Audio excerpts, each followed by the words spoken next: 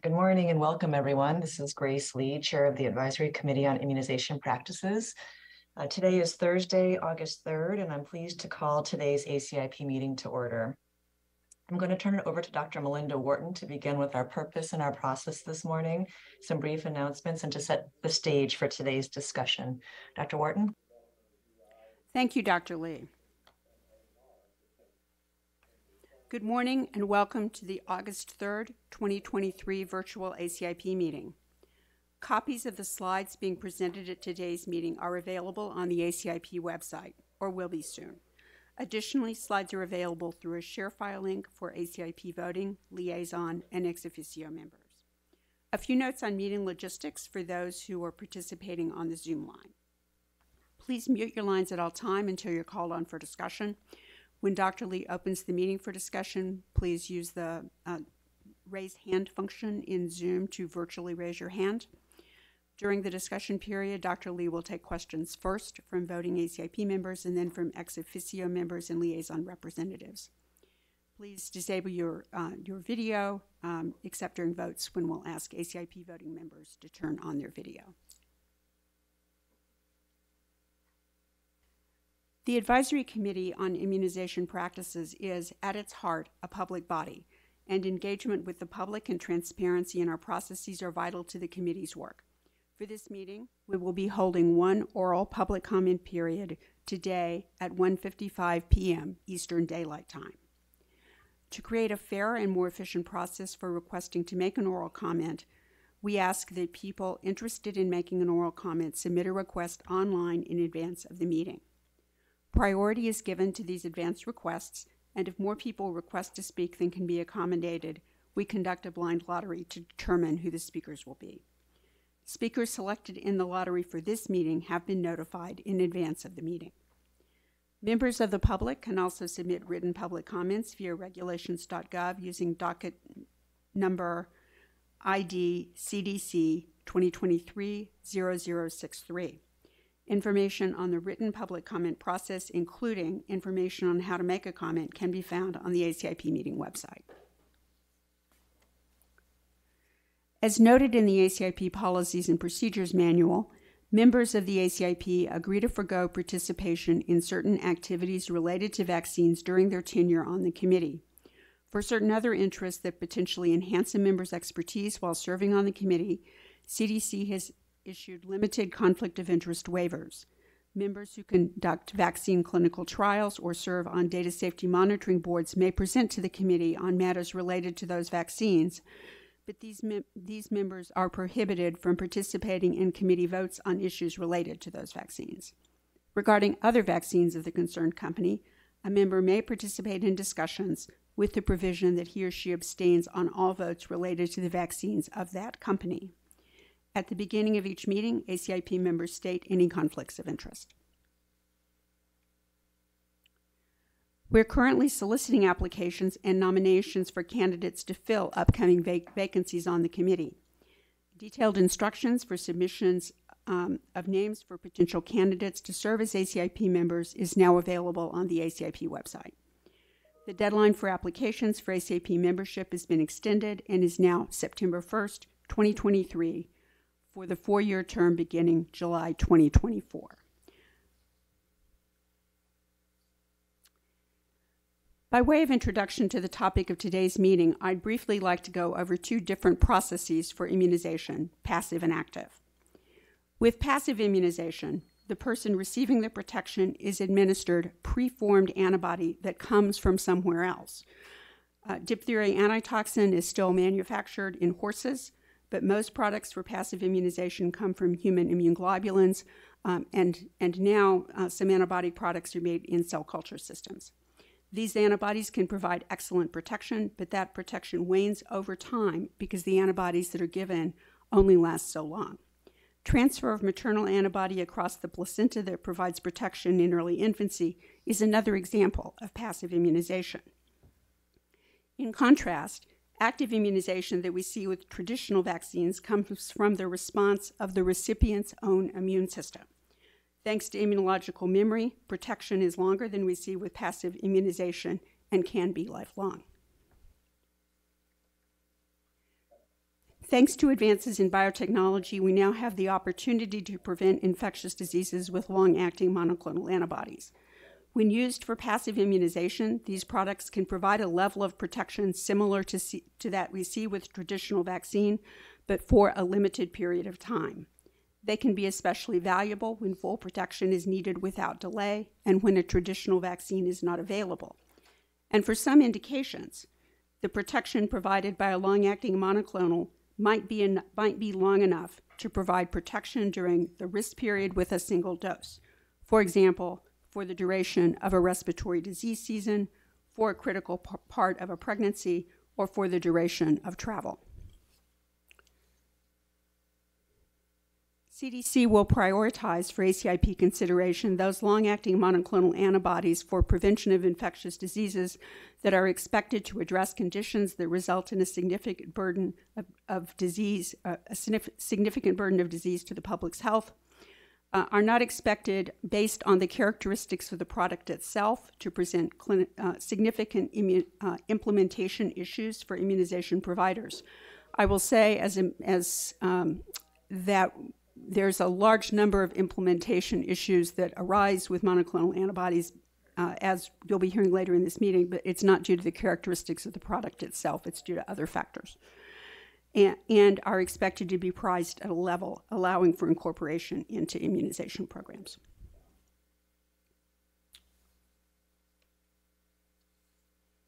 Uh, and with that, I will uh, turn things back over to Dr. Lee. Thank you, Dr. Wharton. Before we get started today with roll call, um, I would like to invite Dr. John Farley from the FDA Center for Drug Evaluation and Research branch to uh, make a few opening remarks. Good morning, and, and thank you, Dr. Lee.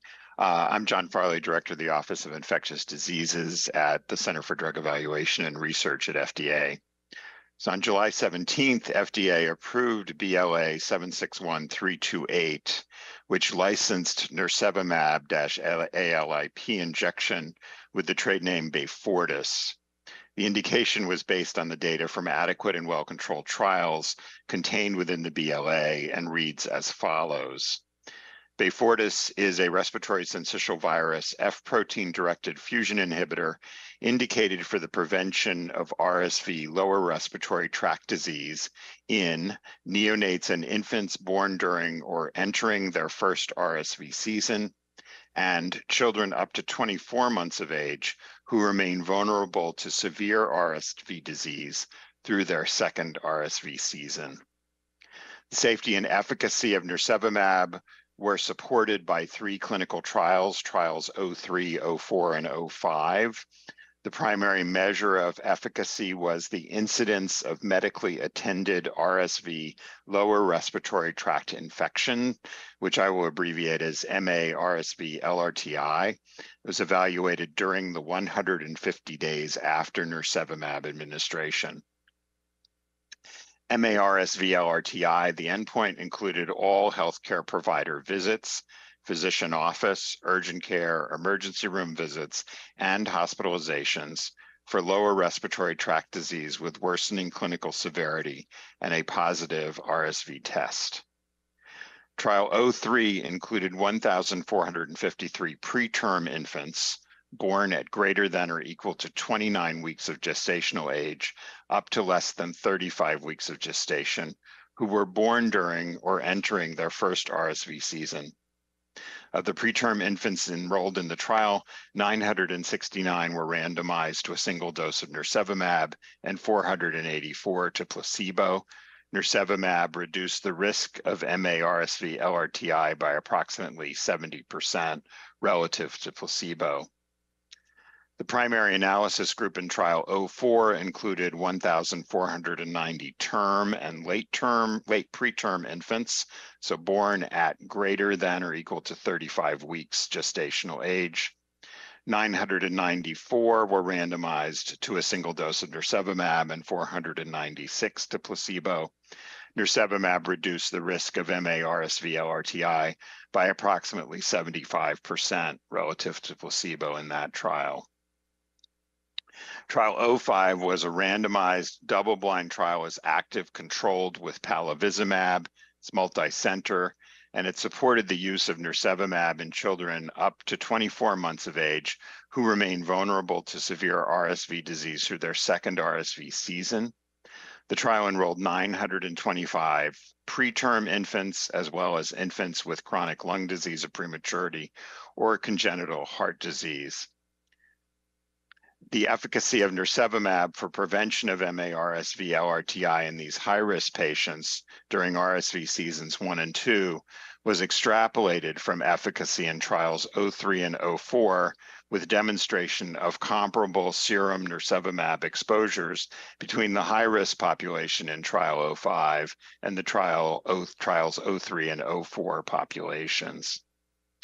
FDA imposed two post-marketing requirements, one focused on monitoring the prevalence of RSV variants, including the frequency of known nirsevimab resistance associated substitutions, and the second requirement to phenotypically assess certain RSVA and RSVB substitutions.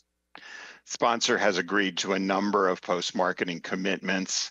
Among these, they include conducting the Harmony study extension, which will evaluate antibody-dependent enhancement of RSV disease, as well as conducting an observational US-based long-term study of infants eligible to receive nirsevimab in their first year of life to assess the impact of RSV disease through day 511 post-dosing.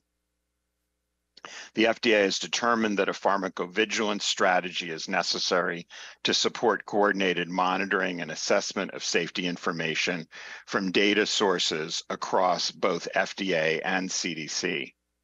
ACIP recommendations will be factored into the final pharmacovigilance strategy as appropriate.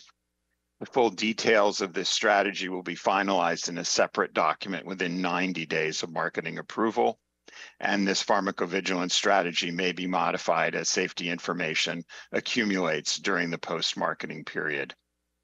We have FDA review member team members on the call today available for questions, should that be helpful. Thank you, Dr. Lee.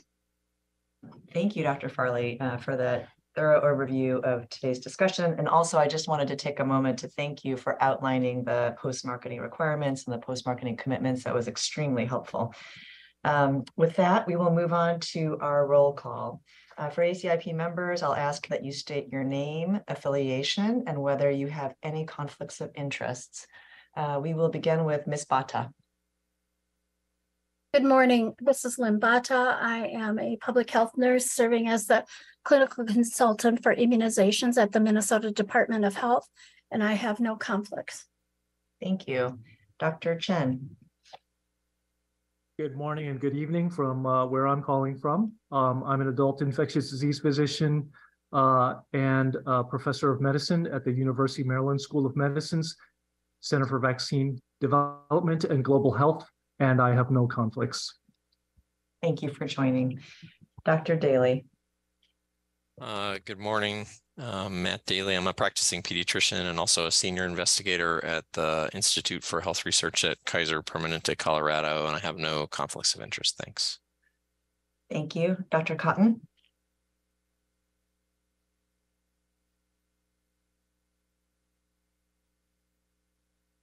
Okay, we'll come back to Dr. Kotton. Uh, Dr. Loehr. Good morning. This is Jamie Loehr. I'm a family physician in private practice in Ithaca, New York, and I have no conflicts of interest. Thank you, Dr. Loehr. Dr. Long? Good morning. This is Sarah Long. I'm a pediatric infectious disease physician and professor of pediatrics at Drexel University College of Medicine. I have no conflict. Thank you. Ms. McNally. Good morning, Veronica McNally, president of the Franny Strong Foundation based in Michigan, and I have no conflicts. Thank you. Dr. Poehling? Good morning. This is Kathy Poehling. I am a pediatrician and um, professor of pediatrics and epidemiology and prevention at Wake Forest School of Medicine, Atrium Health, Wake Forest Baptist. I have no conflict. Thank you. Thank you. Dr. Sanchez. Good morning, Pablo Sanchez, I'm a professor of pediatrics at the Ohio State University College of Medicine. I'm a neonatologist and pediatric infectious disease specialist at Nationwide Children's Hospital in Columbus. And I have no conflict. Thank you. Thank you. Dr. Talbot? Good morning. I'm uh, Kit Talbot, adult infectious disease physician, a professor of medicine at Vanderbilt University Medical Center. Oh, um, sorry, I'm having problems with my buttons today, and I have no conflict. Thank you. Uh, Dr. Kotton?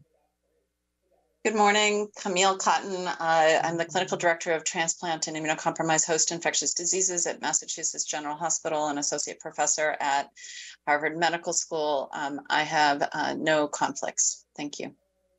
Thank you. And this is Grace Lee. I'm Chief Quality Officer at Stanford Medicine Children's Health and a Professor of Pediatrics in Infectious Diseases at Stanford University School of Medicine, and I have no conflicts. Um, for our committee, we have quorum, and so we are able to proceed today. For ex officio and liaison uh, members, I will announce the organization name. Uh, please indicate your, um, if you're present uh, via your first and last name. We'll start with our colleagues at the Centers for Disease Control and Prevention. Jose Romero, Director of NCIRD, present. Thank you. Centers for Medicare and Medicaid Services. Mary Beth Hance for CMS, present. Thank you. Food and Drug Administration. John Farley for FDA, present. Thank you. Uh, Health Resources and Services Administration. Grimes, present. Thank you. Indian Health Service. Matthew Clark, Indian Health Service, present. Thank you. National Institute of Health. Good morning, John Beigel from the National Institute of Allergy and Infectious Diseases. Thank you. Office of Infectious Disease and HIV AIDS Policy. Valerie Marshall, present. Thank you. Uh, next, we'll move on to our liaison members. Uh, American Academy of Family Physicians. Pamela Carter Smith, AFP staff alternate for AFP. Thank you. American Academy of Pediatrics. Sean O'Leary, present. Thank you. American Academy of Pediatrics Red Book. David Kimberlin, editor of the Red Book, present. Thank you. American Academy of Physician Associates. Morning, Marie-Michelle Leger, present, AAPA. Thank you. American College Health Association. Pavy Chai, present. Thank you. American College of Nurse Midwives. Carol Hayes, present. Thank you. American College of um, Obstetricians and Gynecologists. Linda Eckert, present. Thank you. American College of Physicians. Jason Goldman, present. Thank you. American Geriatric Society. Ed Schmader for AGS. Thanks. America's Health Insurance Plans. Jessica Grubb, present. Thank you. American Immunization Registry Association. Good morning, Rebecca Coyle and Courtney Landro representing AIRA. Thank you. American Medical Association. Sandra Fryhofer representing the American Medical Association. Thank you. American Nurses Association.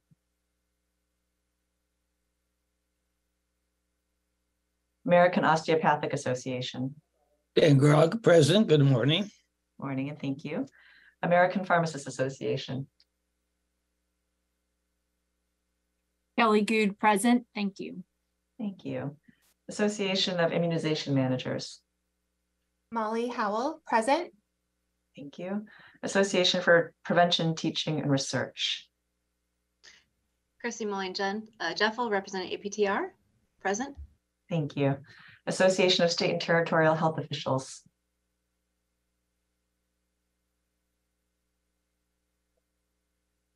Biotechnology Innovation Organization.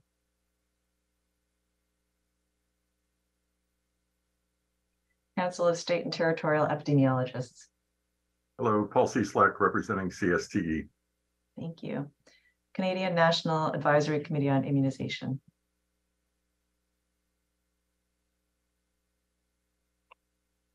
Infectious Disease Society of America. Jim McCauley, present. Thank you. International Society for Travel Medicine. Good morning, Elizabeth Barnett, present. Morning. National Association of County and City Health Officials.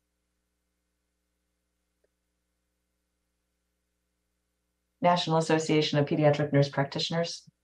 Patsy Stinchfield, present. Thank you. National Foundation for Infectious Diseases. Bob Hopkins, Medical Director, present. Thank you. National Medical Association. Pat Whitley Williams, present. Thank you. Pediatric Infectious Disease Society.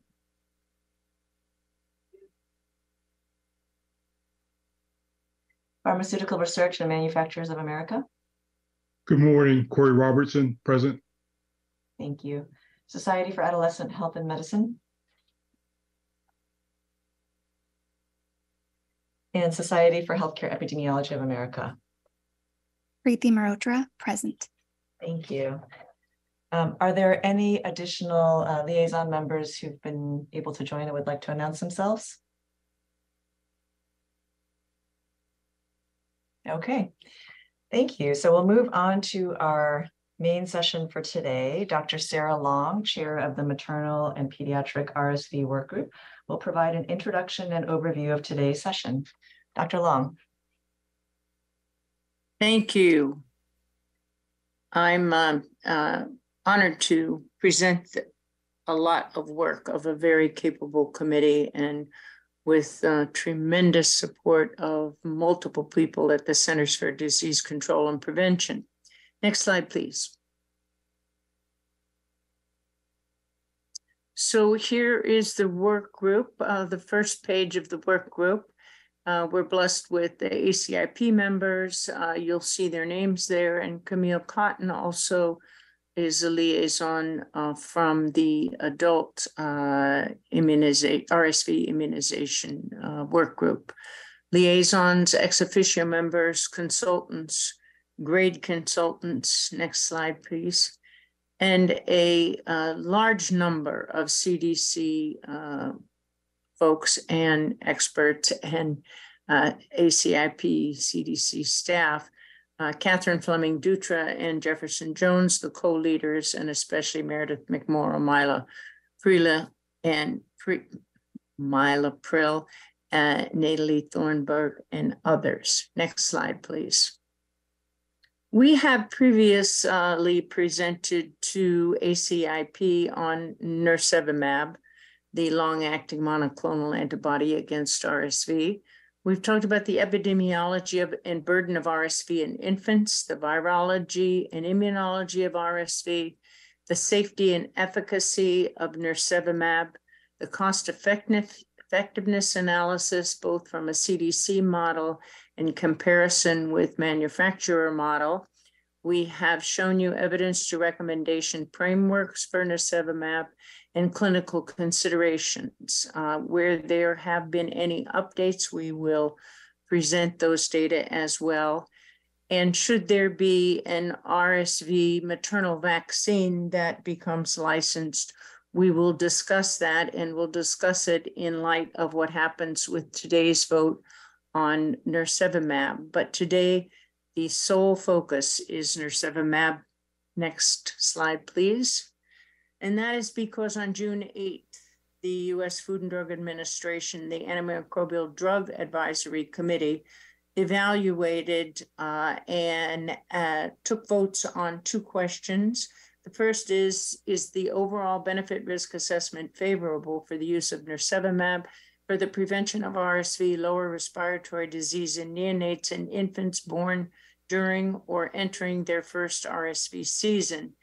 and the committee voted 21 to 0 in favor of a favorable assessment. The second question was Is the overall benefit risk assessment favorable for the use of nirsevimab for the prevention of RSV lower respiratory tract disease in children up to 24 months of age who remain vulnerable to severe RSV disease through their second RSV season? And the vote was 19 to 2 in favorable um, in favor of a favorable assessment. Many committee members recognize need for guideline groups such as AAP and ACIP to provide additional recommendations on the use of nirsevimab. Next slide, please. On July 17th this year, the FDA approved nirsevimab for prevention of uh, respiratory syncytial virus, lower respiratory tract disease in neonates and infants born during or entering their first RSV season, and in children who remain vulnerable to severe RSV disease through their second RSV season. You'll see the brand name of nirsevimab. Next slide, please. So the agenda today is the evidence to recommendations framework for nirsevimab, implementation considerations, clinical considerations, work group considerations, and proposed recommendations and voting language, and a vaccines for children resolution. Next slide, please. The proposed ACIP voting language, so that you can be thinking about this throughout the presentations, is the following. Infants aged less than eight months, born during or entering their first RSV season, are recommended to receive one dose of nirsevimab, 50 milligrams for infants less than five kilograms, and 100 milligrams for infants five kilograms or greater. And children aged 8 to 19 months who are at increased risk of severe RSV disease and entering their second RSV season are recommended to receive one dose of nirsevimab, 200 milligrams. Next slide, please. So these, this is our agenda. These will be our questions for vote. And I now turn it back to you, Dr. Lee. Thank you. so Thank much. you. Thank you, Dr. Long. Um, we'll turn it right back over to Dr. Jefferson Jones, who will be presenting on the ETR summary for nirsevimab. Dr. Jones, the floor is yours. Thank you and good morning. So we will begin, uh, as mentioned, giving an update on the evidence to recommendations framework for nirsevimab. And uh, given the uh, concerns regarding the implementation of nirsevimab, those will be discussed in a separate presentation. Uh, we'll then pause uh, for any clarifying questions. So after the review of clinical considerations, workgroup considerations, and the voting language, at that point we'll welcome discussion on any topics raised today to prepare for the vote. So Dr. Long has shared the two policy questions. We will first review the ETR framework for the first RSV season policy question, followed by a review for the second RSV policy question. And the age groups included in the policy questions of less than 8 months and 8 through 19 months are because that given an average RSV season of 4 to 5 months, infants aged 8 months and children aged 20 months would be experiencing their second and third RSV seasons respectively. Nirsevimab is a form of passive immunization against RSV as previously shared. So during today, we may abbreviate this as immunization, uh, but this is meaning passive immunization. Nirsevimab does not provide active immunity. Active immunity results from infection or vaccination, which triggers an immune response, while passive immunity is when a person receives antibodies from an external source. So examples include antibodies transferred from mother to baby through the placenta or breast milk. And another example is direct administration of antibodies, and these can include IVIG or monoclonal antibodies such as nirsevimab. The PICO components for the first policy question are the population is infants aged less than 8 months, born during or entering their first RSV season. The intervention is nirsevimab, which is one injection prior to the start of RSV season or after birth if born during the season. The comparison is no nirsevimab prophylaxis, and the outcomes are as displayed.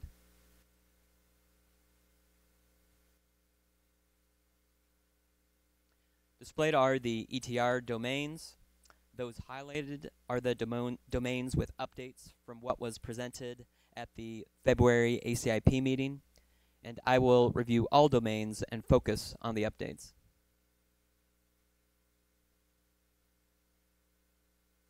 The first ETR domain is the public health problem. As previously presented, this figure shows data from the National Respiratory and Enteric Virus Surveillance System, or NREVSS, which is our primary source for monitoring RSV seasonality in the United States. Displayed is the percent of RSV PCR results that are positive from participating laboratories. As As shown in blue for the 2017 to 2020 seasons, before the COVID 19 pandemic, RSV transmission followed a consistent seasonal pattern with peaks during December to February. During 2020 to 21, shown in the orange hashed line, there was very limited RSV circulation until late spring of 2021, and then activity peaked in late summer of 2021, shown in the yellow line, and transmission continued throughout the fall into December 2021. The most recent RSV season is shown in red, with increasing RSV activity starting in late summer 2022, and RSV transmission peaked in October to November 2022. So to summarize, the 2022 to 23 season began later than the 20 to 22, the 21 to 22 season, but earlier than pre-pandemic seasons. And this suggests an incremental reversion to pre-pandemic seasonality with winter peaks. And I'm reviewing these data to highlight the uncertainty in when the next RSV season will start. RSV is the most common cause of hospitalization in U.S. infants. The highest RSV hospitalization rates are in the first months of life, and the risk declines by month with increasing age in infancy and early childhood. Prematurity and other chronic diseases increase risk of RSV associated hospitalization, but most hospitalizations are in healthy term infants. The work group felt that RSV associated disease in infants born during or entering their first RSV season is of public health importance.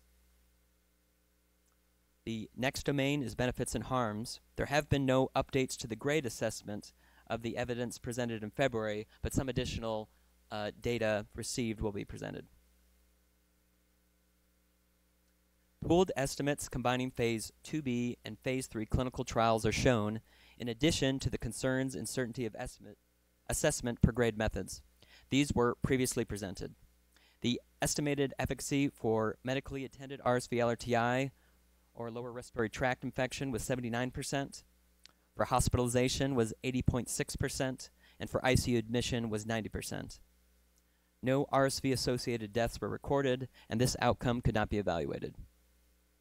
The estimated efficacy against all cause medically attended LRTI was 34.8%, and against all cause LRTI hospitalization was 44.9%. The risk ratio comparing serious adverse events in infants receiving nirsevimab versus receiving placebo was 0.73.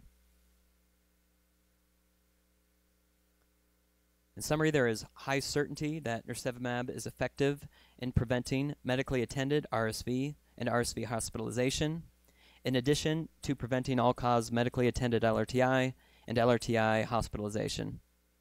There is moderate certainty that nirsevimab is effective in protecting against RSV LRTI with ICU admission, and that SAEs are not more common in infants receiving nirsevimab compared with placebo.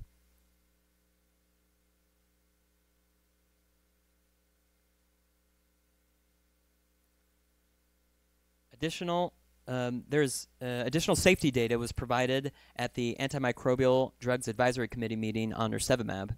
The most commonly reported adverse reaction were injection site reactions at 0.3% and rash at 0.9%. And FDA noted an imbalance in deaths between nirsevimab and the control arms, but determined that the deaths were unlikely to be related to nirsevimab.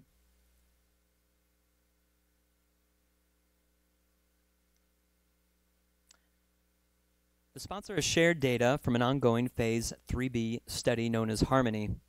This study enrolled 8,058 infants. The age of enrollment was less than three months for 49%, three to five months for 24%, and six or more months for 28% of participants. 85% were born at term, and 50% born during the RSV season. The study is being conducted in France, United Kingdom, and Germany during August 8th, 2022, and these results are through February 28, uh, 2023.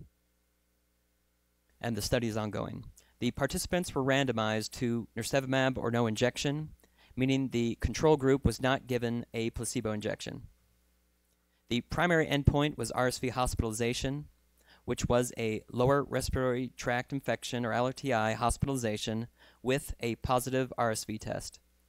RSV tests were ordered by clinicians for patients with LRTI per standard of care, as opposed to systematically on all patients with LRTI hospitalizations. And participants will be followed for 12 months after randomization. At the end of the RSV season, the preliminary efficacy results have been released, which are being presented here, and this is with a median post-randomization follow-up time of 2.5 months. Preliminary results report an efficacy against RSV hospitalization of 83%, against severe disease, defined as an oxygen saturation below 90% and oxygen given, of 76%, and against hospitalization with LRTI of all causes during the RSV season of 58%. For safety, grade 1 adverse events reported to be slightly higher in the nirsevimab arm with 29% versus the no intervention arm with 25%. The rate of grade 2 and grade 3 adverse events were similar between the nirsevimab and control arm. These results have not been peer reviewed or published in the scientific literature. So overall, the grade evidence rating was moderate. We downgraded based on imprecision for protection against ICU admissions because of few recorded events, and imprecision of SAEs because rare events are unlikely to be detected. The work group felt that the desirable anticipated effects of nirsevimab were moderate to large, that the undesirable anticipated effects of nirsevimab were minimal to small, and that the desirable effects outweighed the undesirable effects and favored nirsevimab over no intervention. The next domain is values, and no updates are available for this domain. In a survey of people currently pregnant or pregnant within the last 12 months conducted by the University of Iowa and the RAND Corporation on RSV immunizations with CDC, only 33% of respondents thought their baby definitely or probably would get an RSV infection within one year after being born. Despite being unsure or perceiving RSV risk to be low, respondents were worried their baby would be need to be hospitalized if they got sick with RSV, with a mean response 4 out of 5, with 5 being most worried. And 70% of respondents said they definitely or probably would get an RSV antibody injection for their baby if safe and effective. The work group determined that the target population probably feels that the desirable effects are large relative to undesirable effects. And the work group varied in whether they felt there was important uncertainty about or variability in how much people value the main outcomes. The next domain is acceptability with key stakeholders, and no updates are available for this domain. In a survey of U.S. pediatric providers, over 85% agreed that parents need more information about RSV, that immunization could help prevent RSV, and that immunization policy should ensure all children get access. The American Academy of Pediatrics and National Foundation for Infectious Disease, uh, through a roundtable, have stated the need for safe and effective RSV prevention products. The work group felt that passive immunization with nirsevimab was or probably was acceptable to key stakeholders. For the feasibility domain,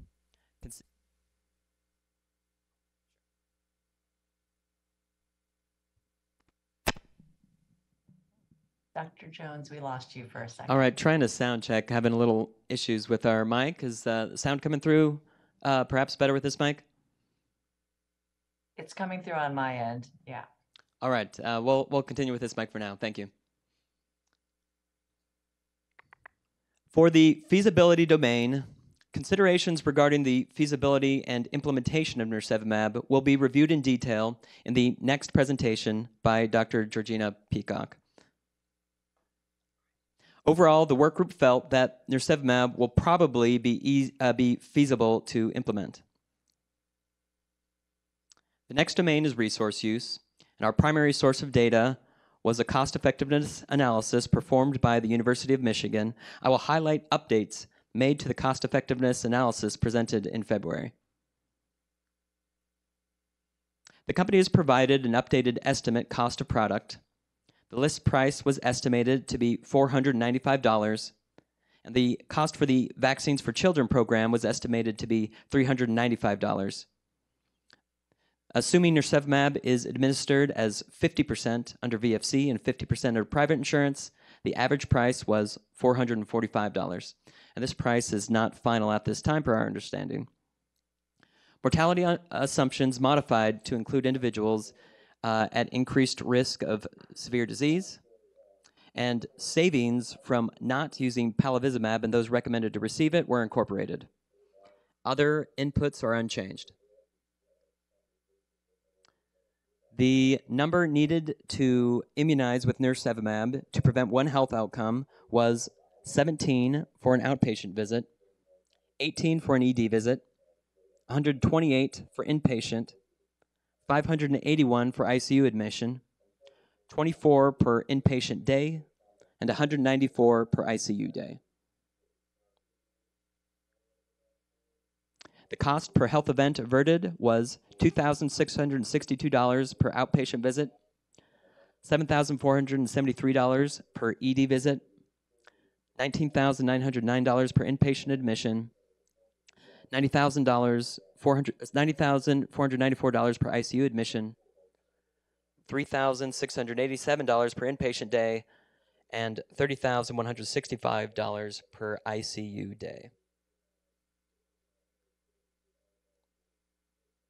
The updated base case result of the cost effectiveness analysis is $102,811 per quality adjusted life year saved. The work group felt nirsevimab is or probably is a reasonable and efficient use of resources. And a full presentation for this updated cost effectiveness analysis is available in the extra slides. Next domain is equity.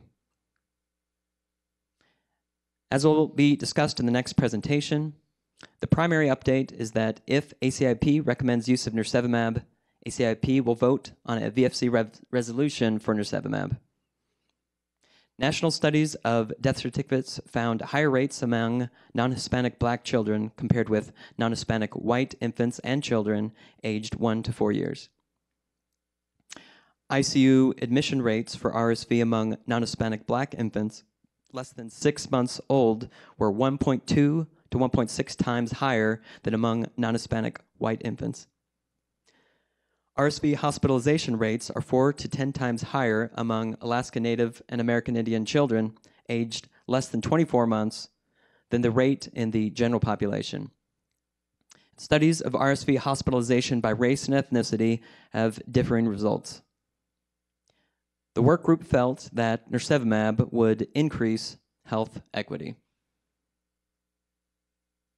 Displayed are the work group judgments of ETR for the first RSV season indication.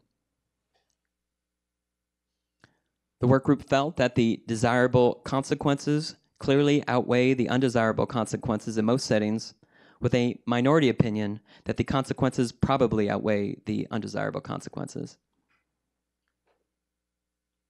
And the work group recommended the intervention. I will now review ETR for the second RSV indication. The PICO components for the second RSV indication are children aged 8 through 19 months who are at increased risk of severe disease with RSV and who are entering their second RSV season. The intervention was nirsevimab. Comparison was no nirsevimab prophylaxis, and the same outcomes were used as the first indication. Domains with updates unique to the second season are the public health uh, problem and resource use for public health problem.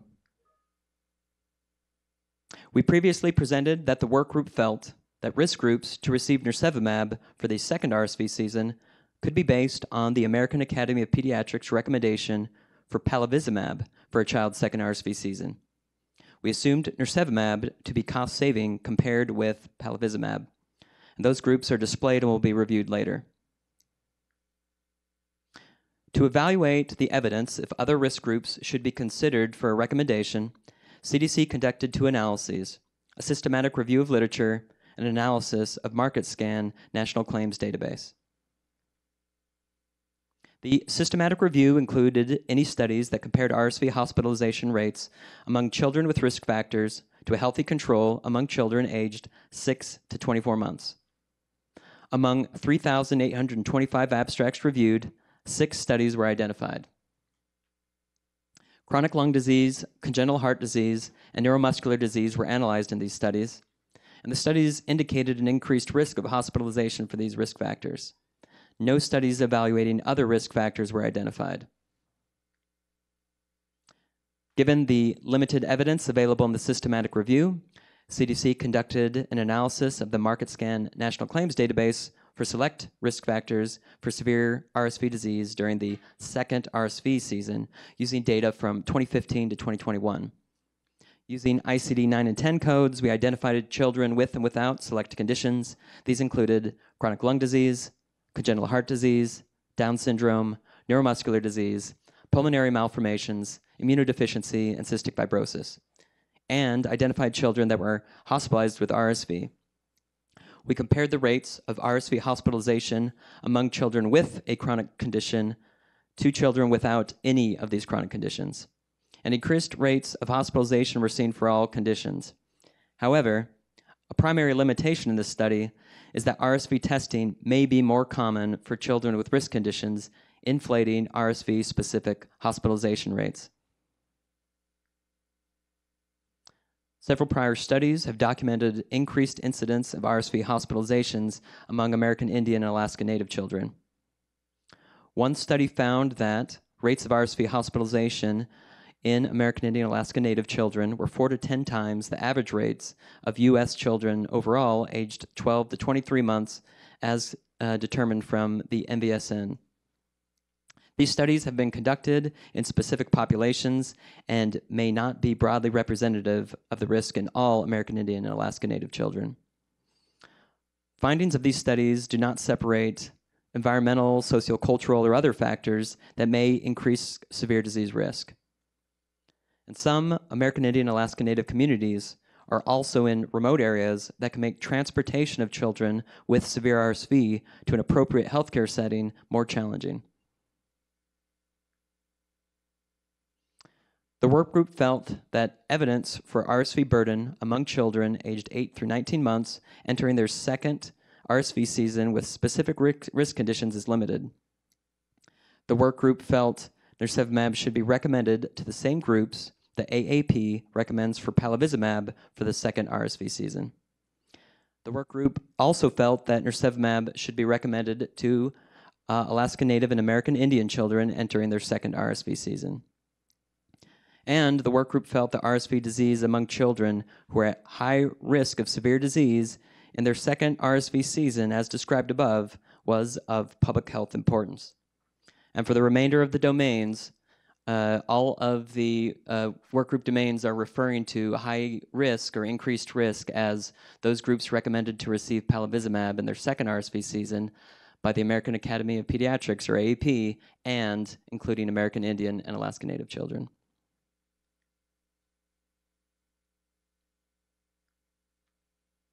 A pharmacokinetic trial was conducted that randomized children at risk of severe RSV disease to palivizumab or nirsevimab.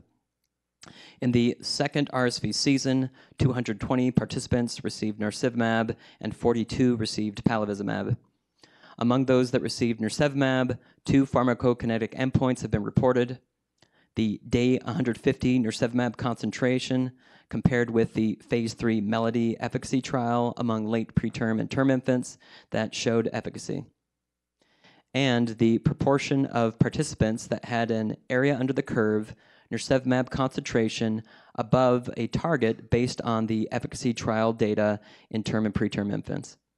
And this was 12.8 milligram day per milliliter.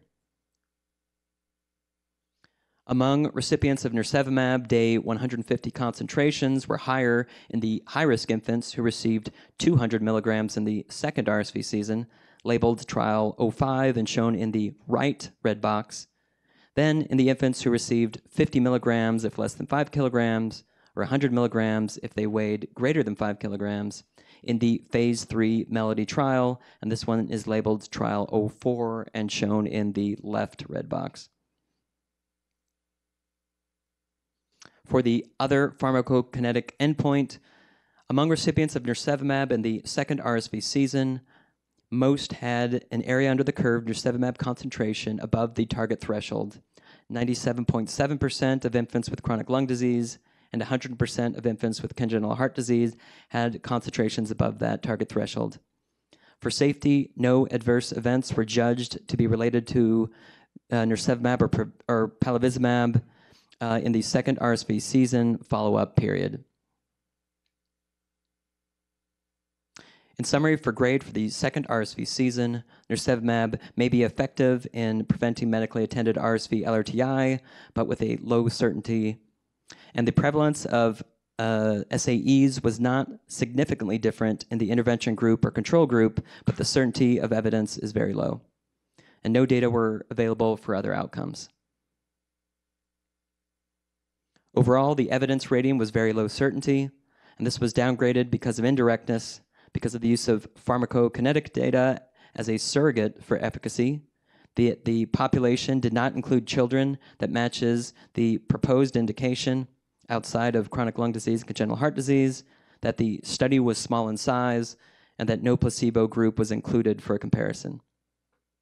The work group felt that the desirable anticipated effects were moderate, that the undesirable anticipated effects were minimal, and that the desirable effects outweighed the undesirable effects and favored nirsevimab over no intervention.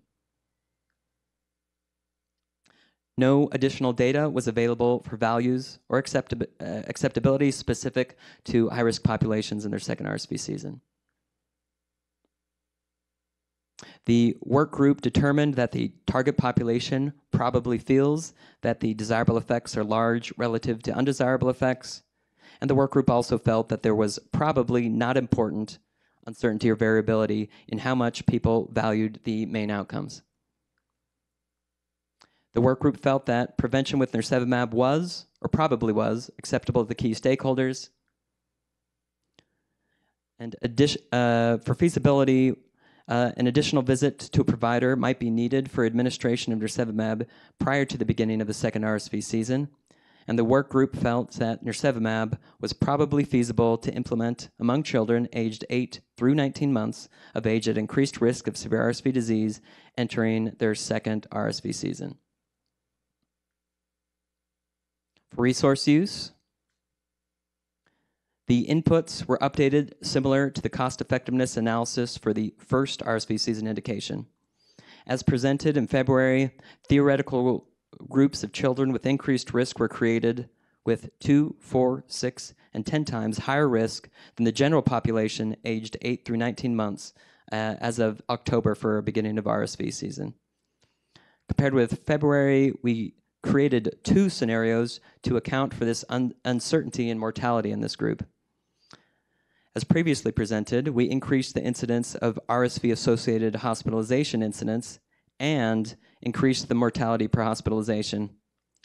For the other scenario, we increased the incidence of RSV-associated hospitalization, but did not change the mortality per hospitalization because of lack of evidence on the mortality per hospitalization. We did not increase the incidence of outpatient and ED visits, healthcare costs, or quality adjusted life years lost with RSV disease um, for these increased risk groups due to lack of data. The cost was updated to $890 of uh, nirsevimab per child based on two times the $445 per dose assumed in the first season analysis to account for the two 100 milligram injections needed. Baseline mortality estimates were modified to include high-risk individuals, and other inputs were unchanged, similar to the first season model. Displayed are the updated results. In the table, the left column shows the assumed risk category. The middle column shows the results if we assume that only the RSV hospitalization incidence is increased and the mortality per hospitalization is assumed to be constant. And with this assumption, the cost effectiveness ranges from $1.5 million per QALY for the general population to just under $300,000 per QALY at 10 times the baseline risk. The right column displays results if both hospitalization incidence and mortality per hospitalization are assumed to increase. And with this assumption, the cost effectiveness ranges from $1.5 million per QALY for the general population to about $25,000 per QALY at 10 times the baseline risk. The work group felt that nirsevimab use among children aged 8 through 19 months entering their second RSV season who are at increased risk of severe disease is probably a reasonable and efficient allocation of resources. Like all domains, this is assuming increased risk of severe disease refers to groups recommended to receive palivizumab in their second RSV season by the American Academy of Pediatrics and also including American Indian and Alaska Native children. For equity, no updated information is available. As previously presented, equity issues differ by chronic condition among infants and young children. American Indian Alaska Native children have higher have reported higher hospitalization incidence rates than the general population during their second RSV season. Non-Hispanic Black and Hispanic populations have higher reported rates of preterm birth than non-Hispanic white population. And the work group felt that nirsevimab use would probably increase health equity. Displayed is a summary of the workgroup judgments for the second RSV season. After reviewing the totality of the data presented today and acknowledging uncertainties around the aspects of the data, the workgroup felt that the desirable consequences probably outweigh the undesirable consequences in most settings, with a minority opinion that desirable consequences clearly outweigh the undesirable consequences. And the work group proposed uh, to ACIP to recommend the intervention for groups recommended to receive palivizumab in their second RSV season by the AAP and American Indian Alaska Native children.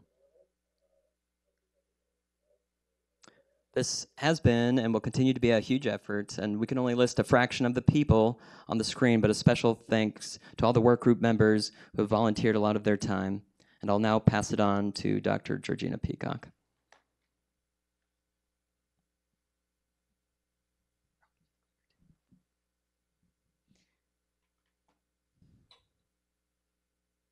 Hi there. Thank you. Um, and I'm pleased to be here today to uh, talk to you about some of the implementation considerations related to nirsevimab. I'm uh, Georgina Peacock, and I'm the director of the Immunization Services Division here at CDC. So I'm going to go through um, a number of these different topics that are listed here on the screen, but suffice it to say there are a lot of implementation considerations for nirsevimab, and I will walk through those. Some of them we have um, some uh, you know, mitig- mitigation strategies for right now, and others we are exploring um, here at CDC and then with partners out in the field. And we look forward to working with people uh, through these different considerations as we um, potentially implement this uh, new product. All right. So, so one of the first issues is uh, that has been brought up is the what the definition of vaccine is. And so, when we look at the Vaccines for Children program, there is no statutory definition of vaccine in the statute. When we look at the Affordable Care Act, similarly, there is no statutory definition of vaccine um, in in the Affordable Care Act. Um, so uh, CDC has determined that nirsevimab is eligible for inclusion in the childhood immunization schedule and the Vaccines for Children program. It's important to note in this uh, area that some states do have uh, different definitions of vaccine in uh, their state statutes. Um, and this may affect um, the state purchase of uh, vaccine in places that are uh, universal purchase states. However, it does not affect the use of federally purchased vaccine in states. Uh, cost has uh, been discussed um, in the previous uh, presentation, but uh, it, this is a, a, costly product. However, um, as you heard before, there have co been cost effectiveness um, studies to look at this. Um, if uh, Nirsevimab is recommended by ACIP, it will be covered by insurance and included in um, uh, the VFC program, it's it's important to make sure that uh, there is equitable access to Nirsevimab. And so we understand that the cost of Nirsevimab is a potential implementation barrier, particularly for uh, outpatient settings or ambulatory practices. Um, there is in the provider agreement uh, for VFC providers uh, a uh, provision that if um, uh, a practice is a, has both public and private payers that they do need to carry um, stock so vfc stock and private stock. And we rec- recognize that this may be challenging for some practices. We are working through some potential um, sort of uh, short term uh, solutions to this as uh, the ramp up of um, inclusion of Nirsevimab in the VFC program uh, would be occurring. And so those are some of the things that we're looking at to see um, what might be able to be done during this in, introductory period.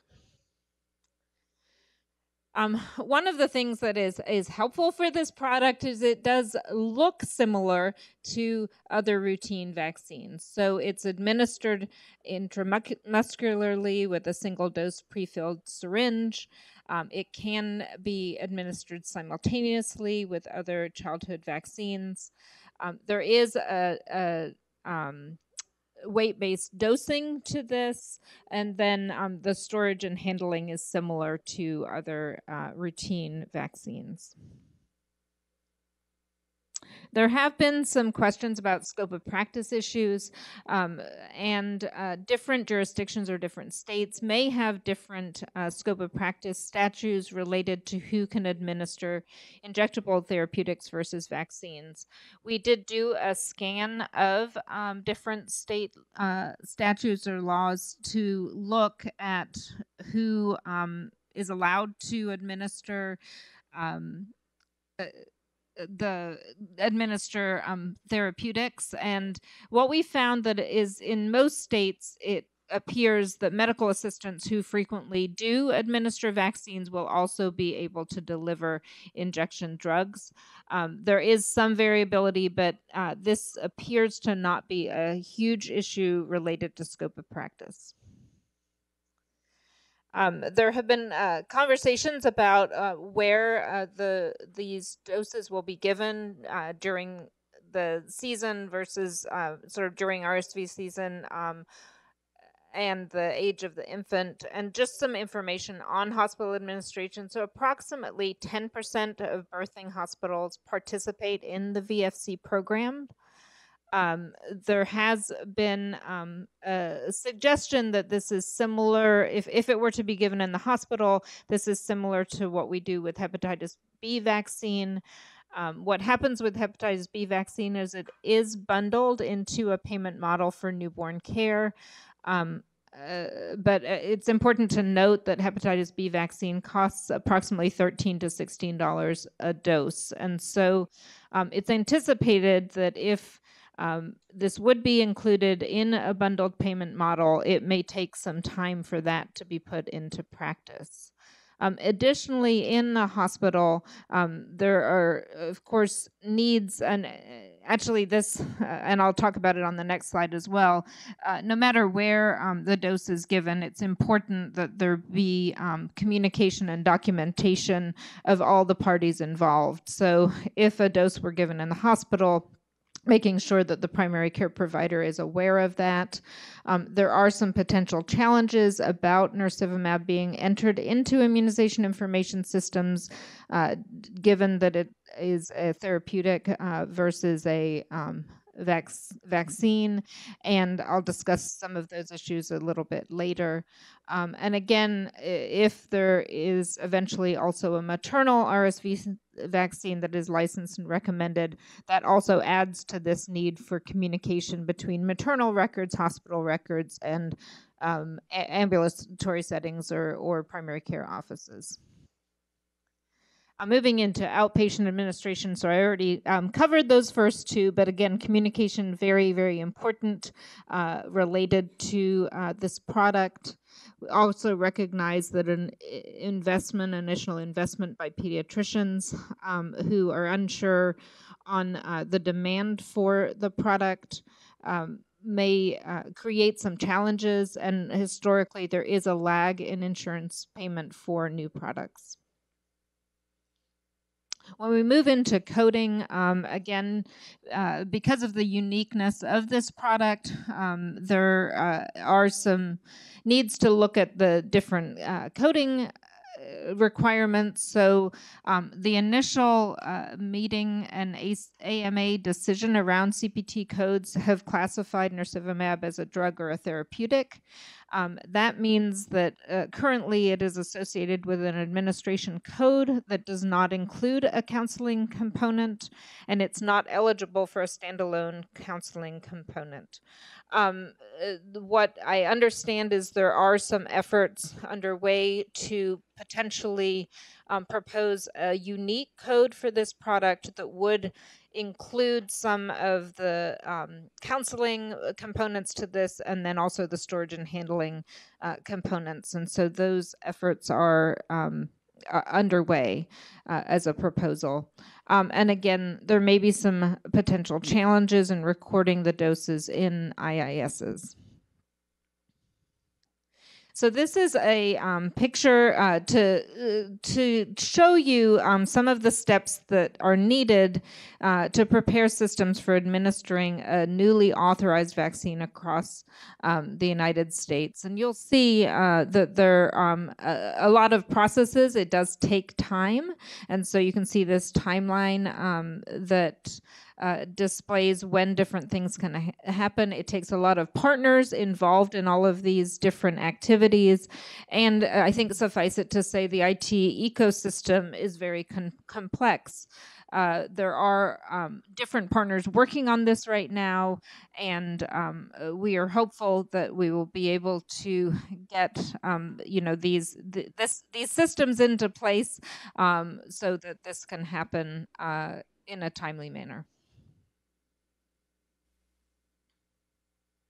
Um, some more on uh, the IISs and then also vaccine forecasting considerations.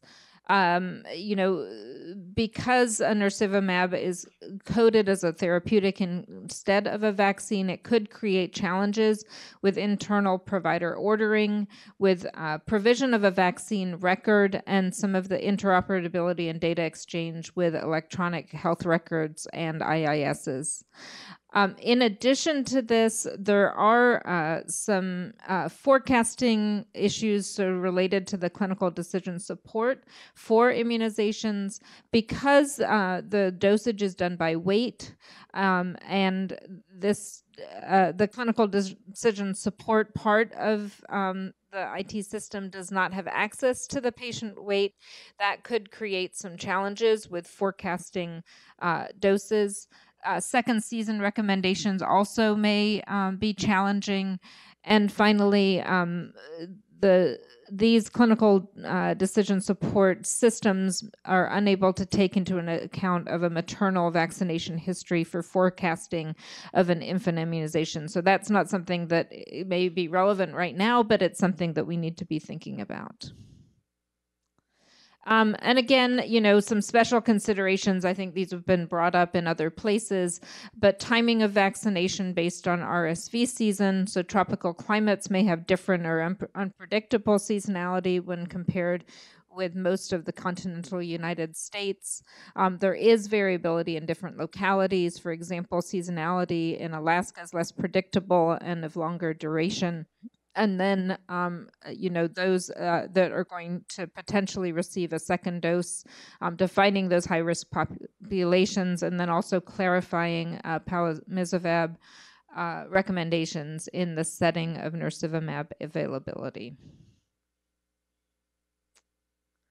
Um, uh, reporting of ad- adverse events is also more complicated for nirsevimab than other immunizations, uh, being classified as a therapeutic versus a um, vaccine. So, if nirsevimab is administered alone, suspected adverse events are reported to MedWatch.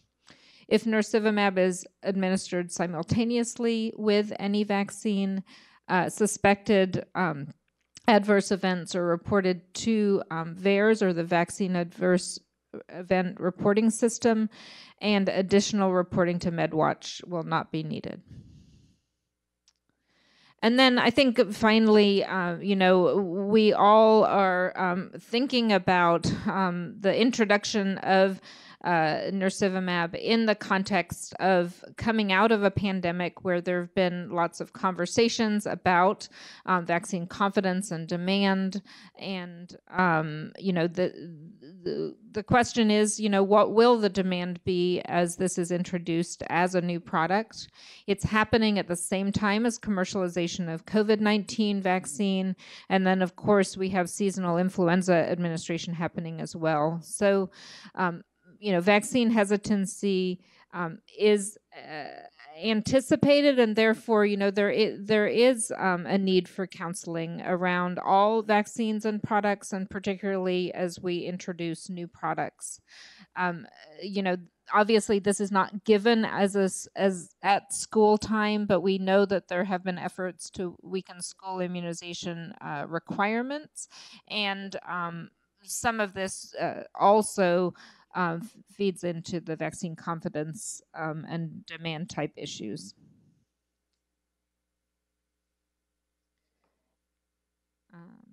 Okay, and so in conclusion, um, this just summarizes some of the things that I brought up today, but there are considerable considerations for the implementation of nirsevimab, and I hope that this is helpful in sort of a, laying out some of those. Um, certainly, this will be a transitionary period this first season, and um, I think we should uh, make sure that uh, all the partners involved in this um, are thinking through these implementation issues issues as we move forward and, um, hopefully, uh, you know, uh, um, you know, make sure that that the product is uh, something that it has good uptake and that uh, you know we have infants that are protected. So thank you. Thank you so much, Dr. Peacock and Dr. Jones for that set of presentations. Uh, we are going to take um, a moment to take questions from our members uh, and liaison members. So we'll start with Dr. Kathy Poehling. All right. So first, I want to say thank you to Dr. Jones and to Dr. Peacock for um, tremendously helpful and clear presentations, and to all the teams and the entire work group that pulled this information together. One of the things that was highlighted and has been a grave concern of mine is the cost of the vaccine. And so, or yes, of the vaccine. And so um, I would, would like the FDA or the vaccine manufacturer to share um, what the list price is um, in the most recent um, iteration and what the bounds are. Do we have someone from Sanofi on? Hi, this is Julian Ritchie from Sanofi. Thank you. Please go ahead. So thank you for the question. We are committed to making Beyfortus accessible and cost effective for all infants entering their first RSV season, consistent with the analysis that you're seeing shared here by ACIP and, and the work group. Assuming an all infant recommendation and inclusion in the VFC program to ensure access for those infants, our pricing will be cost effective with a commercial list price of $495 and a lower VFC price of $395 to reflect that volume that's purchased through the program. Okay, thank you. One, and one, uh, uh, sorry, one other point I just wanted to mention too is that because there is availability of the product in the two different formulations, the 50 milligram and the 100 milligram presentation, I did want to make sure that it's noted that they will both carry the same price in order to uh, ensure that infants can receive the appropriate dosing without additional cost concern. Thank you. Okay, thank you. Actually going to be my question. So you're saying that the 50 milligram and 100 milligram would both be 495. And then what that means is if you give two doses for the 200 milligram, it would be twice that at 990. Is that correct? That is, that is correct. Okay. Um, and um, I wanted to go back to a point that Dr. Um, Peacock made um, in saying that the CPT code is defined as a drug and therapeutic. And so my other concern is for persons with private insurance, because if my understanding is the ACA covers vaccines, but if this has a CPT code for drug and therapeutic, and we have lots of high um, deductible plans, would there be a large co? Could we anticipate a large copay for many families? Thank you. Thank you. Dr. Peacock, are you the correct person to respond or would you like someone else to respond?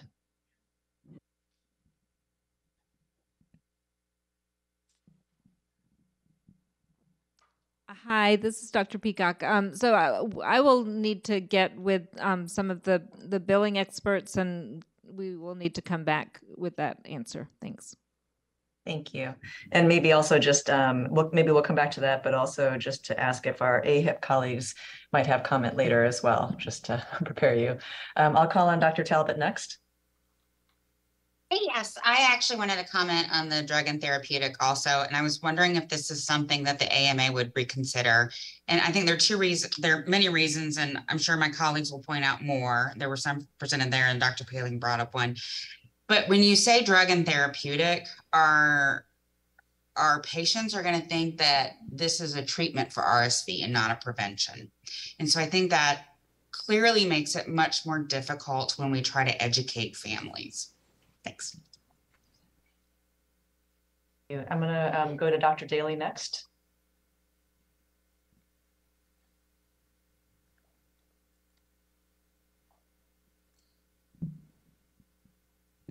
Dr. Daley, we can't, or I can't hear you. Maybe others can hear you.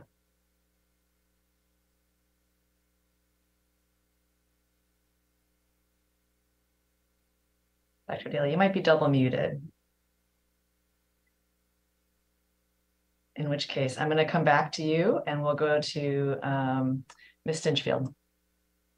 Thank you, Dr. Lee. Patsy Stinchfield representing NAPNAP. Um, as a member of the work group, I just want to uh, thank Dr. Peacock especially for outlining the significant implementation challenges that we discussed in our work group and um, coming from the private sector hospital and clinic setting, I would just encourage all of my uh, colleagues out there uh, across the US to use her very detailed uh, presentation as a template for the work that needs to be done uh, and starting now with the patient education and staff education, storage, handling, electronic medical records. There, there are a number of considerations for implementation, but this uh, these should not be barriers. They just are going to take some work to do now. So I just wanted to say thank you for capturing uh, our work group's uh, work so well. Thank you. Dr. Hopkins. Thank you uh, for representing uh, NFID. I, I, want to thank the work group for all their hard work uh, again. And I think my comment comes at perfect time after uh, uh, Ms. Stinchfield's comments. You know, I think the issues around collaboration and communication are going to be so critical with this product and for RSV prevention in infants in general. I would hope that uh, the work to decide how we're going to get this into immunization registries, how we're going to support uh, communication between practices, hospitals, and patients and families knowing what uh, what preventive tools have been used for RSV will be emphasized earlier rather than later. Thank you. Thank you, uh, Dr. Cieslak. Hi, thanks very much. Um, I have a question about the cost effectiveness results for children uh, eight to 19 months entering the second RSV season, because I was surprised looking at those numbers to see that the work group thought that these were reasonable. Um, so Dr. Jones, can you explain um, the risk category for the base case scenario and then and then the rationale for apparently upping that tenfold in your sensitivity analysis? Sure, thank you. Uh, the the base uh, the the no increased risk, our our baseline risk was based on those that would be entering their second RSV season in October or in the eight to 19 month uh, age range, and and those were per um, uh, NVSN rates. So that would be the general population. Um, because we were considering those that were increased risk, uh, that wouldn't be the general population, and with a lack of data of what the uh, uh, hospitalization rate would be for these increased risk, we created uh, theoretical risk groups of what they may be. And uh, so the results are now being redisplayed. So this was more the reason the work group did not expand uh, beyond those that are already recommended to get palivizumab. So for those that are recommended to get palivizumab, instead of using uh, palivizumab as a five dose, uh, a monthly um, uh, uh, monoclonal antibody product, uh, by switching to nirsevimab, they would be assumed to be cost saving in that scenario. So uh, that is the scenario with which the work group interpreted it would uh, be um, a reasonable and uh, allocation of resources. Okay, thanks. That's very, very helpful. Thank you. Thank you. We're going to go to Dr. Loehr next. Um, thank you, Dr. Jones and Dr. Peacock for this presentation. Could you go back to slide 55 for Dr. Jones, one before this one? And you're saying that some people have a higher risk, but you also implied that you didn't have any data. So the people who got palivizumab, do you have any data on sense of how much more likely they are to be in the hospital than the average 12 month or 18 month old?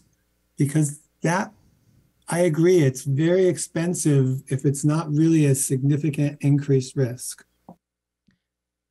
So we are going to have a second response to the last question that we'll address first, and then we'll move to the response to the question just asked.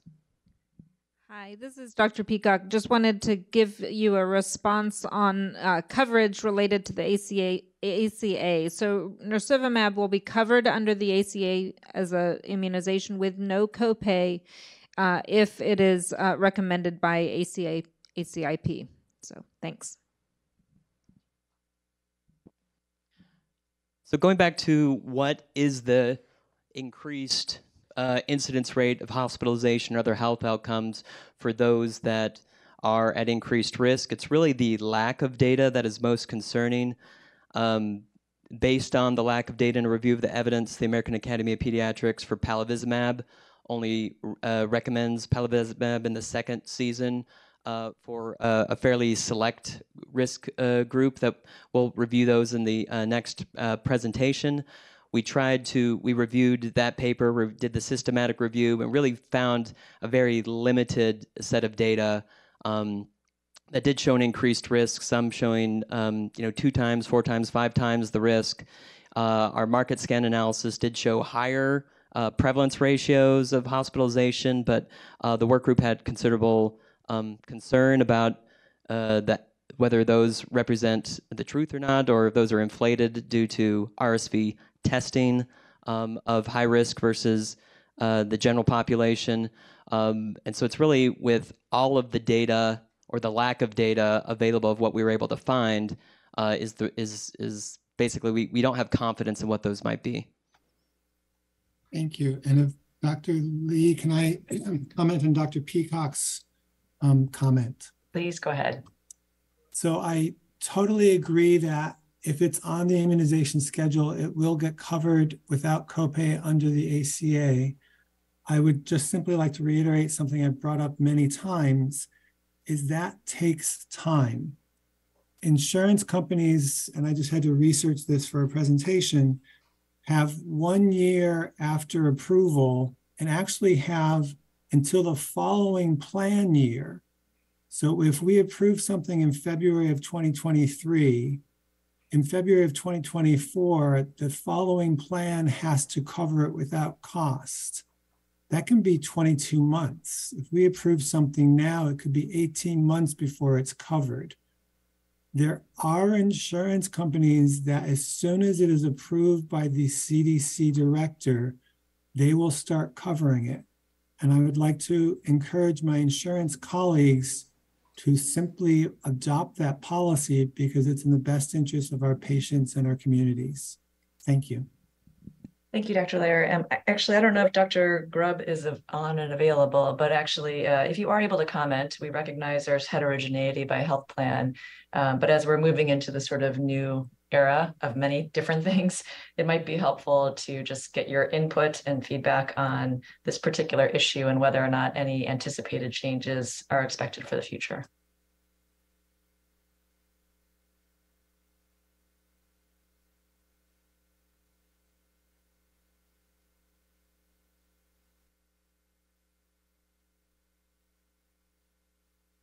We have our colleagues from AHIP on? Perhaps they have, I don't see them on, in the call anymore. So we'll maybe table that question for later. Doc, uh, Ms. Bahta.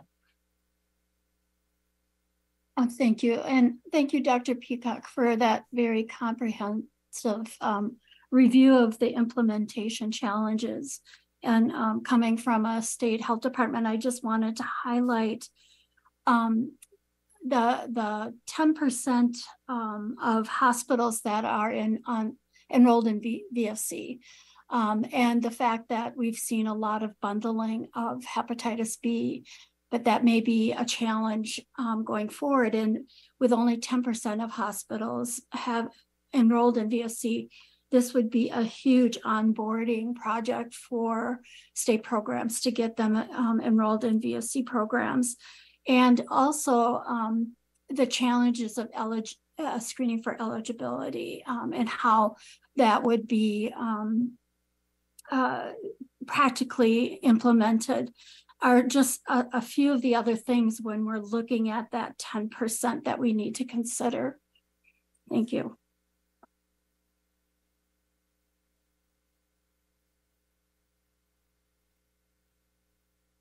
Thank you, Ms. Bahta. Um, Dr. Peacock, I'm gonna I'm gonna keep going, but uh, if uh, there are specific things you'd like to respond to, uh, please we'll collect them up and feel free to respond at the end. Um, we'll move on to Dr. Daley. Yeah, Dr. Lee, I'm going to do a sound check first. Can you hear me? We can hear you. Thank you. Okay. Yeah. Sorry about my prior uh, audio problems. So I was actually going to make a very similar point to what Ms. Bahta just made. So I will not make that point and move on to a different point. This one's directed at uh, Dr. Jones, which is, um, Dr. Jones, I, I, I really appreciate the um, uh, additional uh, thought and care that the work group uh, put into whether to include Native American uh, Alaska Native in a in a second season um, dosage. And to me, given the data that was presented on four to 10 times the hospitalization rate during the second season, it's a really compelling argument. But I, I just wonder about um, uh, sort of the aspects of uh, the acceptability and the feasibility of that, and whether you have any data to speak to sort of the ability to implement that um, as a strategy. Um, and again, I appreciate the thought that went into that. Uh, over. We don't have any specific data points. We have been in discussion with colleagues from the Indian Health Service who uh, are free to comment as well, um, and with CDC's uh, Office of uh, uh the, the OTASA office that works with our um, tribal partners um, and are continuing to uh, receive feedback. This is still, um, uh, these clinical considerations are, are being proposed and we'll have our VFC vote today, um, but there's always opportunities to receive uh, more, more, more feedback. Uh, Dr. Clark, oh, thank you. Please go ahead. Hi, yes, thank you. Uh, this is Dr. Matthew Clark with the Indian Health Service. Um, we are in the process of evaluating the uh, logistical implications of this recommendation for uh, our IHS system of care, including our federal, tribal, and urban programs. Uh, but in light of the, uh, the increased risk to our patient population, it's something that is a high priority. Thank you, Dr. Clark. Dr. Poehling?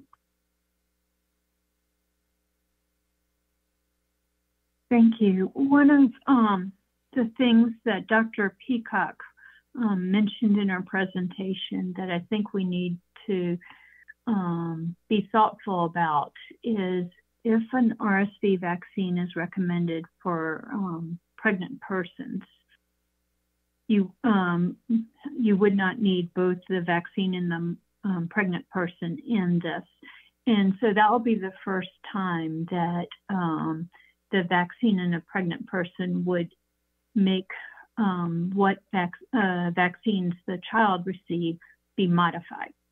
And so um, we have our AIM colleagues on, and this has huge implication for our immunization information systems. Um, and I'd be interested in how people are thinking about capturing that because ideally having both on the immunization registry would be um, helpful to avoid record scatter and um, not duplicating efforts. Thank you. Thank you, Dr. Poehling. Yep. Or um, Dr. Lee, do you want? I can. Why don't I just make a list of these and I'll comment at the end? Does that sound good? That sounds perfect. Yes, Okay. I, uh, and let me just um, echo my appreciation for the amount of thought and uh, care that has gone into your presentation. Um, I just did want to make a comment that uh, we, you know, this is a new era where we're really thinking about prevention more broadly. Um, and, you know, I do believe that in terms of the innovation of this, this is a really important step forward. Um, and just want to recognize that because this is a new and innovative step forward in terms of prevention activities, that implementation uh, does take time and there are a lot of complexities with this. Uh, this is one of the first products we're looking at in this way, uh, but as you work and we work together to set up how we can possibly think about delivery and implementation systems across various settings. I mean, I do think that this opens up so many more opportunities. So while this is going to be hard in the short term, it's going to be of huge benefit in the long term. So really appreciate all the work that and Carrie put into that. Um, that said, I did have one question for Dr. Jones, which is around um, immunocompromised populations. So you presented the information around um, children with chronic lung disease and um, congenital heart disease in the second season, um, and specifically the uh, uh, the, the nirsevimab concentrations um, by that status.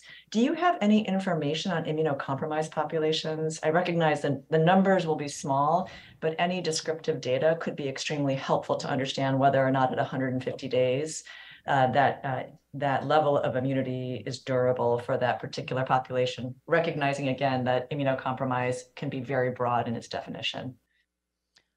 Uh, the company has uh, had a trial, a small trial in an immunocompromised uh, population. I believe it was a safety trial. I haven't seen the pharmacokinetics, if those were measured in that specific population.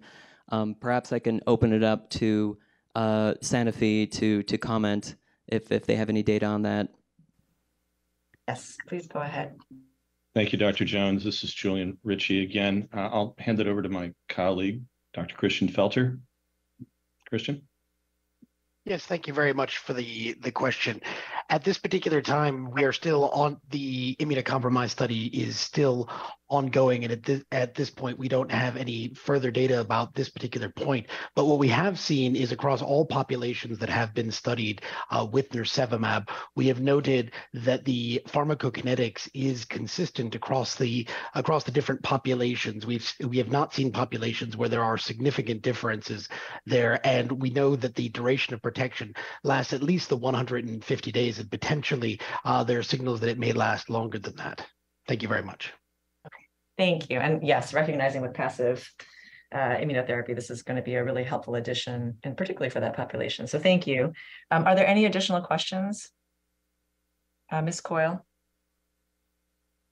Thank you. And I, I just wanted to say, you know, representing the immunization information system side of things, I think Dr. Peacock did a fabulous job of outlining a lot of those challenges. I think the one piece that wasn't mentioned, and I want to just put it out there, is that IIS get you know about 80% of their data from electronic health record systems and pharmacy systems. And they are also a very um, heterogeneous population or group of systems out there. And so I think that's the one other piece I would just caution everybody about is there are going to be implementation challenges on the EHR side that I can't even begin to describe all, but it will play out in how quickly EHRs can adopt and uh, put this in their systems to be able to send it to an IIS. So while they might be able to capture it, sending it to the IIS might take a little bit more time. So I just want to note that for the record as well. Thank you. Thank you. Um, and with that, I think um, I don't see any other hands raised, but there will be opportunity to speak up again at the end. Um, uh, uh, we'll move on to the next section, which is clinical considerations for nirsevimab. Uh, Dr. Jones, the floor is yours again, and um, appreciate Dr. Peacock collecting up all of the uh, implementation questions across the board. All right, thank you. So next, uh, I will discuss clinical considerations, and followed by work group considerations for our nirsevimab, nirsevimab recommendations, and then present the proposed voting language, followed by any additional discussion. Uh, next slide.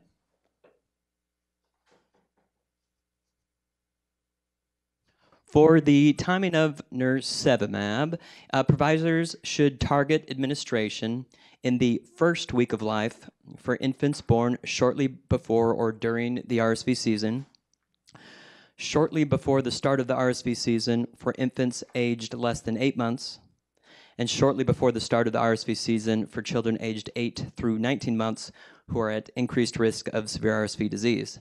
Now, while the optimal timing for nirsevimab administration is shortly before the season, Nirsevimab may be given at any time during the RSV season for age eligible infants and children who have not yet received a dose. So, based on pre pandemic patterns, this means Nirsevimab could be administered in most of the continental United States from October through the end of March. And because the timing of the onset peak decline of RSV activity may vary by jurisdiction, uh, providers can adjust administration schedules based on local epidemiology. For infants born short, shortly before or during the RSV season, nirsevimab should be administered within one week of birth. Administration can be during the birth hospitalization or in the outpatient setting. And infants with prolonged birth hospitalizations due to prematurity or other causes, they should receive nirsevimab shortly before or promptly after discharge. Tropical climates may have seasonality that differs from most of the continental United States or is unpredictable, and this may include southern Florida, Hawaii, Guam, Puerto Rico, U.S. Virgin Islands, and the U.S. affiliated Pacific Islands. Also in Alaska, RSV seasonality is less predictable, and the duration of RSV seasons is often longer than the national average. Providers in these jurisdictions should consult state, local, or territorial guidance on the timing of nirsevimab administration. In accordance with CDC's general best practices for immunizations, simultaneous administration of nirsevimab with age-appropriate vaccines is recommended. In clinical trials, when nirsevimab was given concomitantly with routine childhood vaccine vaccines, the safety and reactogenicity profile of the co-administered regimen was similar to the childhood vaccines given alone. Nirsevimab is not expected to interfere with the immune response to other childhood immunizations. The following groups of children aged 8 through 19 months are recommended to receive nirsevimab when entering their second RSV season because of increased risk of severe disease. Children with chronic lung disease of prematurity who require medical support. This includes chronic corticosteroid ther uh, therapy, diuretic therapy, or supplemental oxygen. This is at any time during the six month period before the start of the second RSV season. Children with severe immunocompromise, children with cystic fibrosis who have manifestations of severe lung disease. This includes previous hospitalization for pulmonary exacerbation in the first year of life or abnormalities on chest imaging that persist when stable, or weight for length that is less than the 10th percentile and American Indian and Alaska Native children. Nirsevimab is recommended for infants aged less than eight months, born during or entering their first RSV season, including those eligible for palivizumab, And nirsevimab is recommended for children aged 8 through 19 months who are at increased risk of severe RSV disease and entering their second RSV season, including those eligible for palivizumab. Per the FDA label, children who have received nirsevimab should not receive palivizumab for the same RSV season. And recommendations for palivizumab are made by the American Academy of Pediatrics, or AAP. Providers administering nirsevimab should follow ACIP's general practice guidelines for immunization. Nirsevimab should not be administered to persons with a history of severe allergic reaction, such as anaphylaxis, after a previous dose or to a product component. As mentioned in an earlier presentation, adverse events after administration of nirsevimab without co-administration with any vaccine can be reported to MedWatch and adverse events or suspected adverse events following co-administration of nirsevimab with any vaccine should be reported to the Vaccine Adverse Event Reporting System, or VAERS. An additional reporting of the same adverse event to MedWatch is not needed. So again, like to acknowledge everyone who's contributed to uh, all, all these uh, considerations, recommendations, and gathering of data. I'll move on to the final topic and then open for discussion.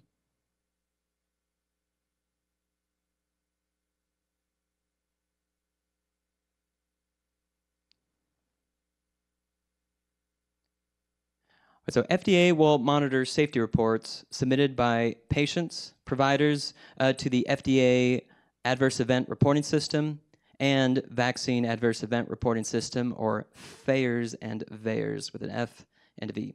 FDA will monitor other data sources, including the scientific literature, the applicant's periodic safety reports, ongoing clinical studies, and potential other sources, for example, medical billing and electronic health records.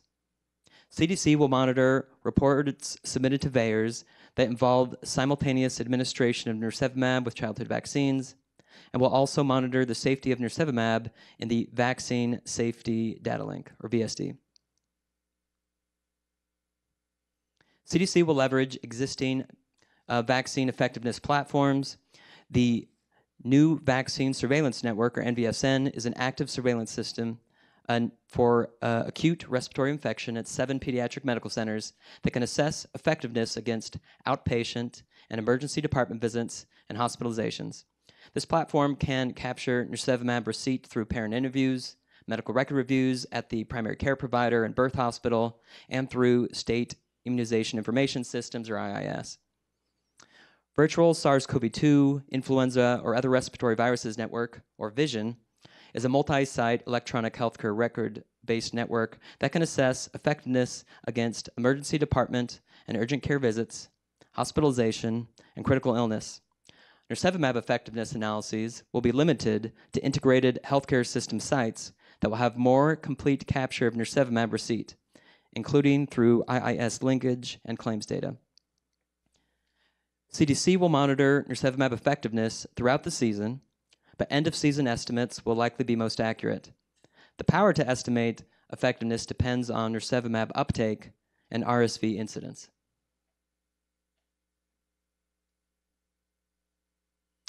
RSV genomic surveillance will also be important. Mutations resulting in nirsevimab resistance have been rarely reported.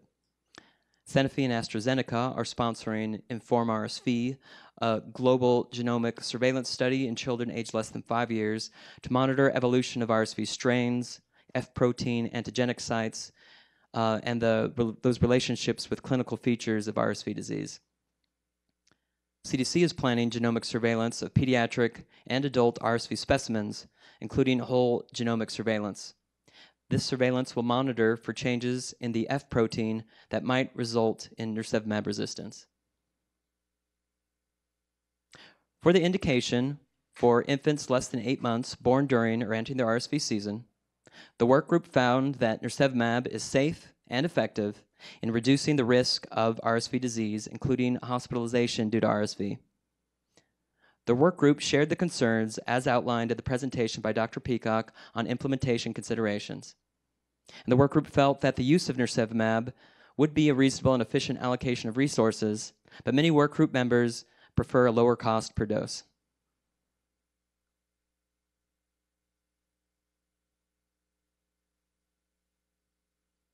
For the indication for children aged 8 through 19 months who are at increased risk of severe RSV disease and entering their second RSV season, the work group felt there was limited efficacy and safety data.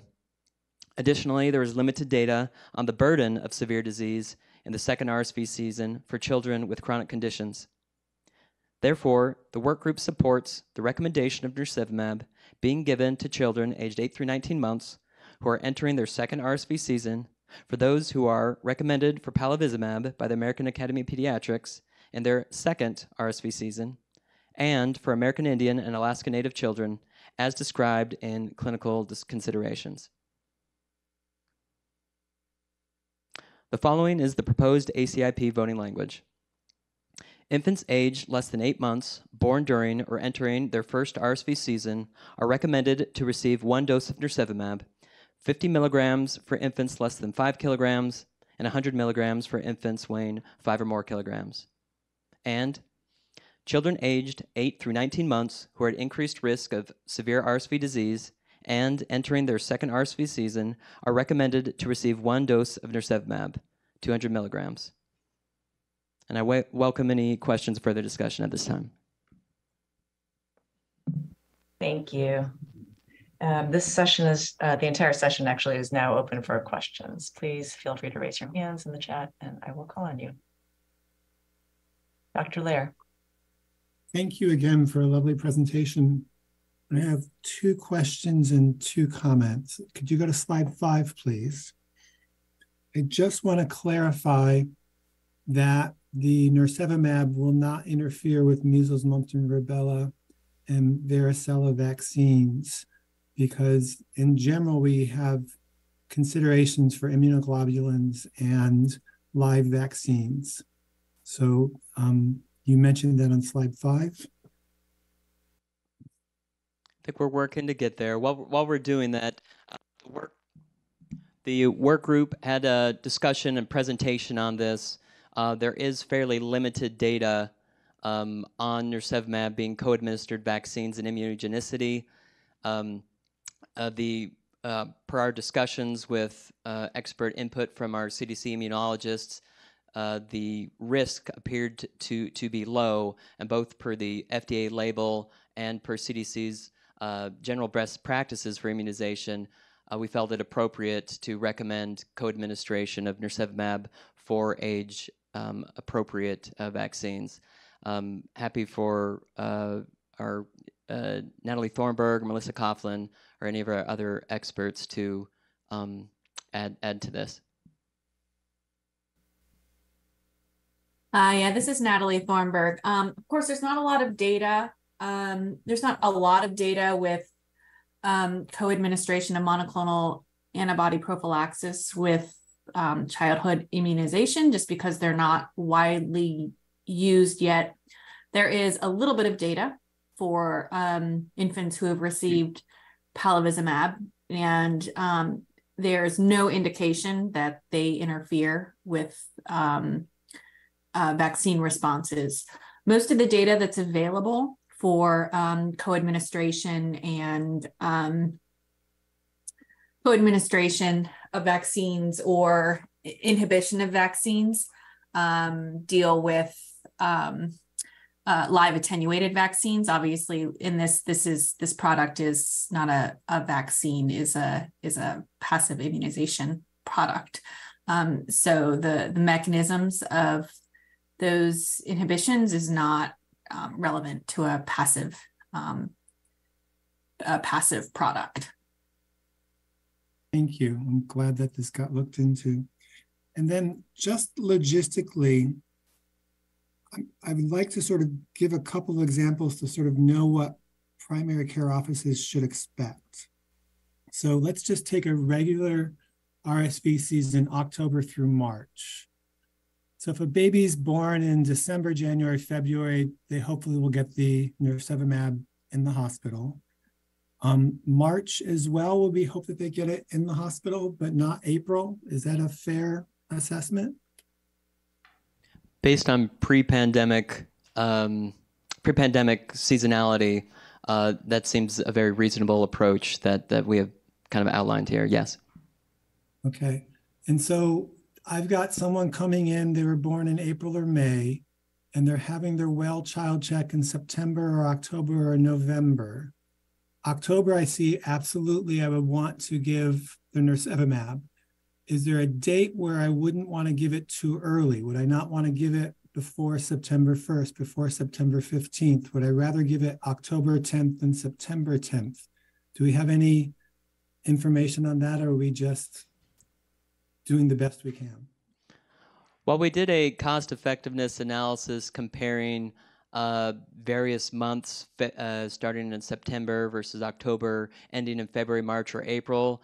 Uh, October through March was uh, the best cost effectiveness. There may be slight differences whether you live in the uh, southeastern United States versus the west coast, as there are weeks uh, difference in pre-pandemic seasonality.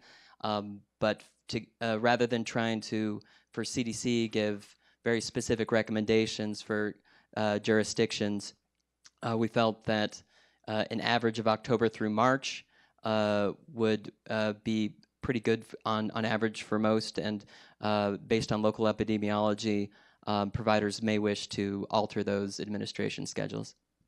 So, but just to clarify, for a standard season in a standard location like mine in New York, November would be better than September. Is that what you're saying?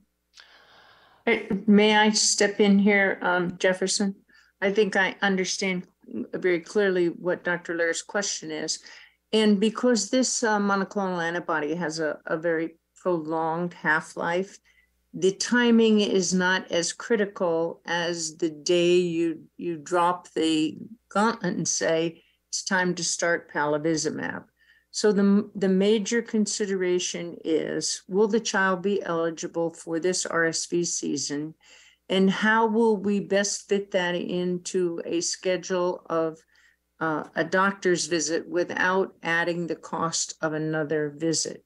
So it we would not have an opinion if it would be better to do September, or October. If you're going to see them in October and you haven't had um, the I the initiation of the season, give it to them in October. But if you're not planning to see them in October, give it to them in September without concern for uh, waning protection through at least 150 days.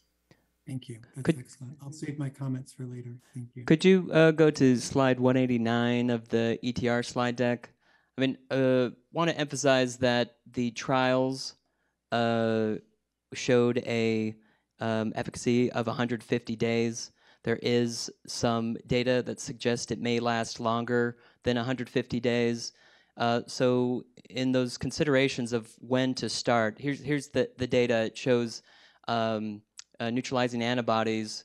Uh, in in blue are those that uh, received nirsevimab, who did and did not get RSV in the the dark and unfilled squares. And then you have the placebo groups in gray. Those filled in triangles are those who rece- who uh, had confirmed diagnostic confirmed RSV. So you see the neutralizing antibodies even up to day 100, 361 are higher in the nirsevimab group that both who did and did not get RSV than the placebo group who did get RSV. So uh, it's I think it's important to try and uh, time it in our considerations when we talked about October through March that it is uh, shortly before the RSV season is the prime time. If you give it too early, and while you're in the peak of the RSV season, there is, um, you know, you still haven't given RSV, or RSV has the protection has substantially waned, um, would clearly be less than ideal. Uh, but given this, uh, aiming for shortly before the RSV season, and then as soon as possible, if if that's not done. Thank you, Dr. Poehling. All right. So um, thank you again, Dr. Jefferson. And I very much appreciate your conversation on the safety and highlighting the FAERS and VAERS. And I am aware the FDA and CDC collaborate on um, VAERS. And so I think this is highly achievable, but I would love to hear from FDA or um, Dr. Shimabukuro on how there's going to be collaboration because you could report to one or the other um, FAERS or VAERS systems, and how are we going to make sure we capture and have a complete picture? Thank you. I, this is uh, this is Tom Shimabukuro. Do you want me to to give a response and then FDA can? Please go ahead, Dr. Shimabukuro. Sure. So I I just want to um, just say first and foremost, we we work closely with FDA to monitor um, vaccine safety and for for nirsevimab, um, the, the, the passive immunization, we have worked closely with both um, the Center for Drugs and uh, the Center for, for Biologics and um, with NCRD to develop a comprehensive monitoring approach. And I think, as was stated in the presentations, um, a, a, a, a, an adverse event report involving nirsevimab only. Um, the the place or the home for that is the the FDA's um, FAERS system with an F. Um, and uh, if if if there are nirsevimab only reports that get sent to to VAERS, so essentially reports that are misrouted to VAERS with a V, um, we have a process for making those available um, to our colleagues in the Center for, for Drugs who run the FAERS program. Um, if there are adverse event reports that involve simultaneous administration of, of vaccines and nirsevimab, uh, we consider that a, a vaccine report and um, we will we will monitor those reports and we also have a mechanism to allow um, our colleagues in the Center for Drugs um, access to to um, to monitor those reports as well.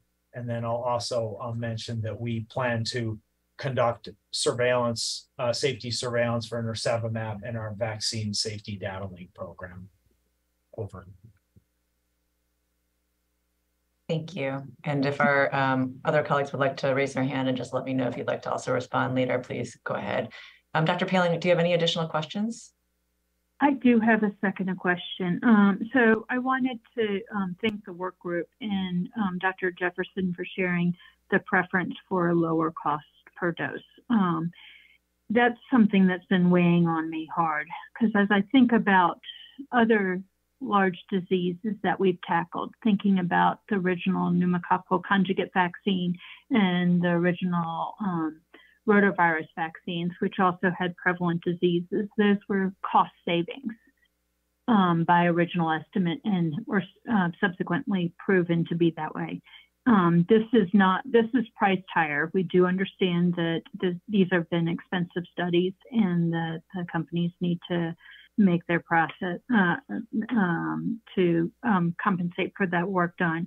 But uh, I am worried about equity and I'm worried about um, hospitals saying, well, we have one week to do this. Let's make sure the um, private practices give it rather than give it in the hospital, because from a hospital standpoint, the cost differential for a baby born in June and a baby born in uh, um, October or during the RSV season would be 500, almost $500. And that's a big deal.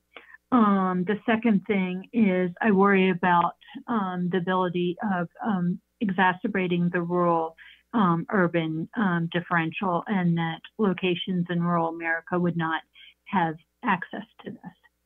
Thank you. Thank you. And Dr. Gatto, did you want to make a comment around um, safety surveillance?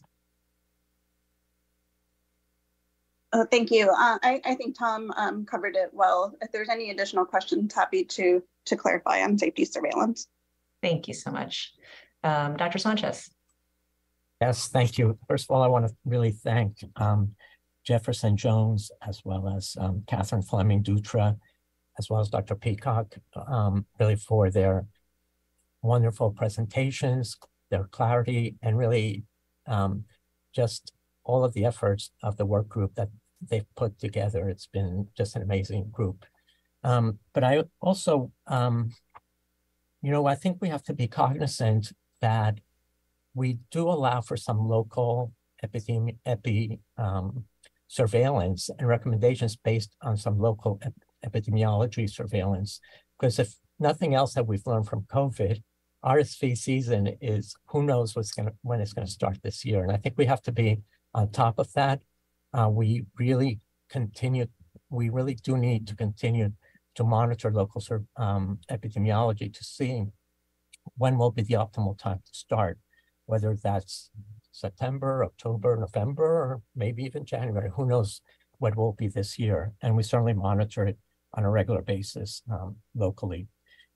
But you know, I understand the issues of implementation. This is a new this is a new medication. Um, this is completely, you know, where we'll be giving it to every single um, infant less than eight months of age. Um, however, this really is a huge benefit.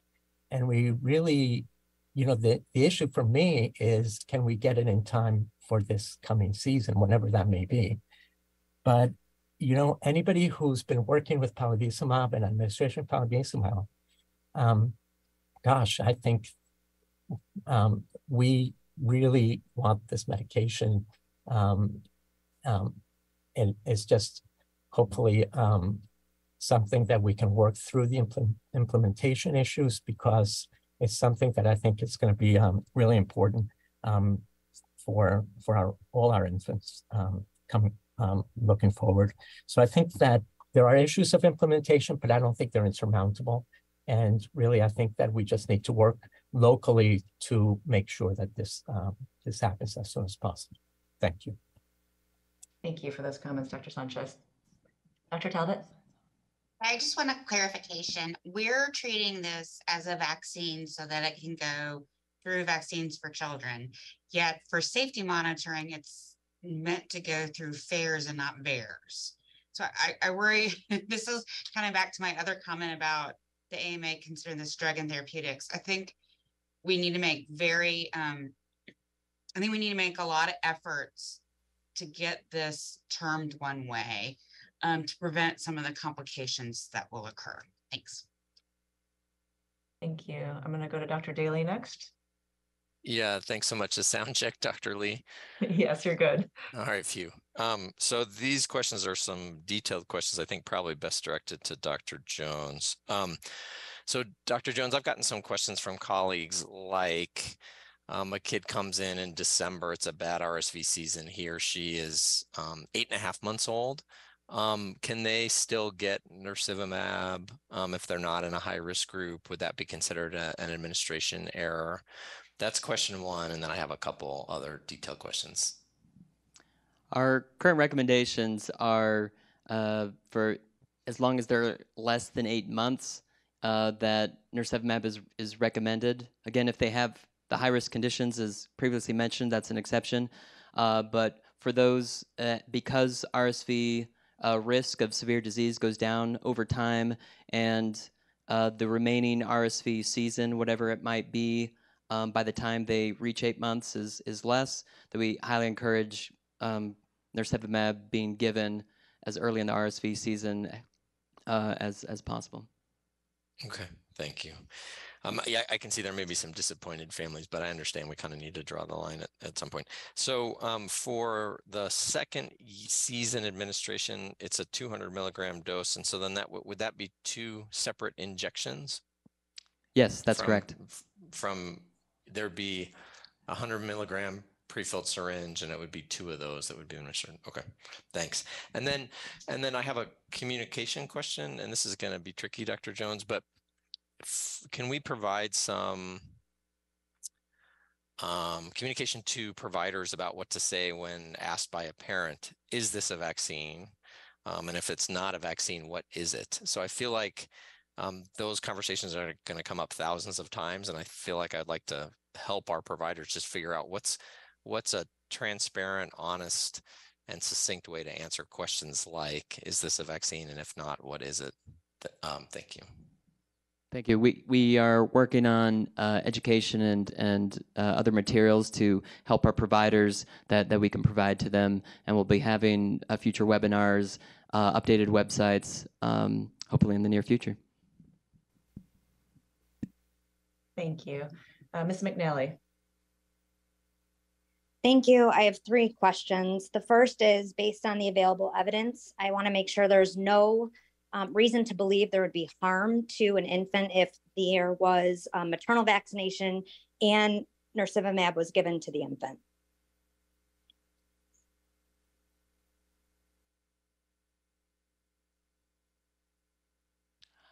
Well, um, we'll generally defer questions referring to the maternal vaccine um, after uh, it, you know, pending FDA licensure uh, of a maternal vaccine.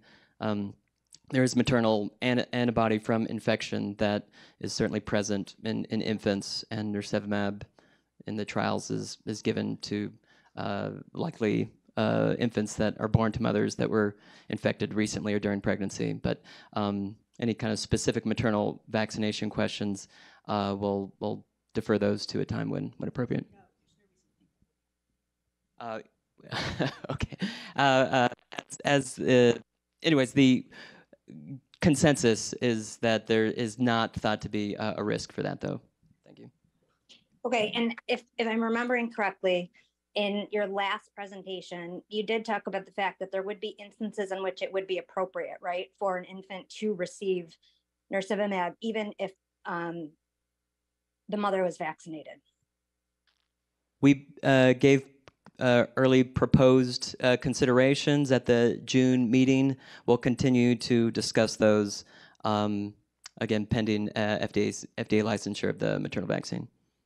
Okay, thank you for that. My next question relates to an information sheet. So similar to a vaccine information statement, what will be provided to parents for infants receiving nirsevimab? So this is Dr. Peacock. So we will have something similar to a vaccine information sheet because it's not a vaccine. It will be called something different, but it will look um, similar to the to one. Okay. And my final question is as it relates to any potential claims for injury from nirsevimab, what is the mechanism to adjudicate those claims?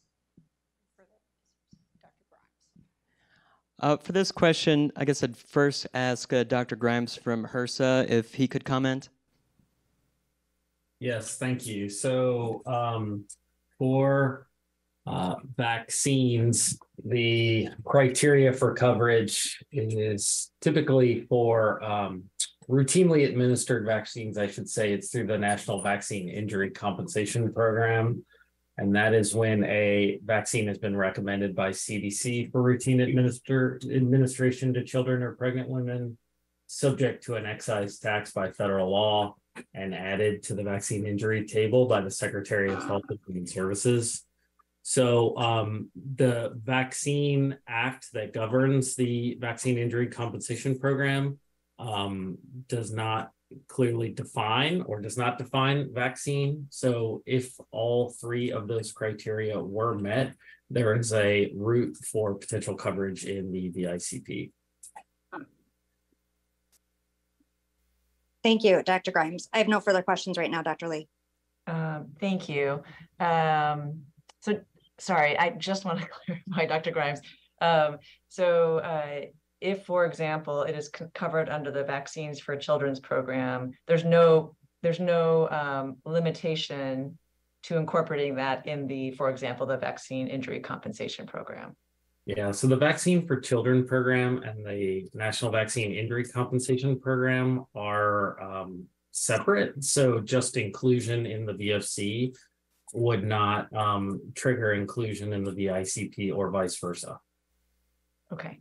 I, I do think, uh, thank you for that. And I, and I recognize um, you are answering it, um, uh, you know, extremely accurately. I just, it would be helpful, I think, to know um, per Ms. McNally's point, uh, the clarification on that, when that clarification comes forward, uh, to be able to share that with ACIP members um, and also the public. Um, I actually see Dr. Grubb has raised her hand, but Dr. Grubb, actually, I'm gonna uh, take chair's prerogative and ask one particular question, which uh, relates to some of the work that you're doing with AHIP. Um, one of the questions I really have is around financing of prevention. Mike, I think this is also a fantastic product and something that hasn't been available previously and also has many benefits in terms of the durability of protection uh, compared to um, other antibody products that we've used previously for high-risk kids. Um, I did want to highlight uh, the challenges that we have um, in the ambulatory setting, our pediatricians and our family practice docs and the birth hospitals that are delivering these babies um, essentially have been asked to pay upfront for the cost of these uh, products, uh, including vaccines, um, and hope for uh, adequate reimbursement on the other end. And, you know, I want to just highlight that in this instance, you know, coming from the drug side, it is not typical uh, for us to think about um, the pediatricians and family practitioners who are in small practices, for example, bearing the brunt of that upfront cost. Um, and potentially losing money on being able to deliver these preventive interventions. So as we're starting to move into these um, you know, again, more innovative strategies for prevention.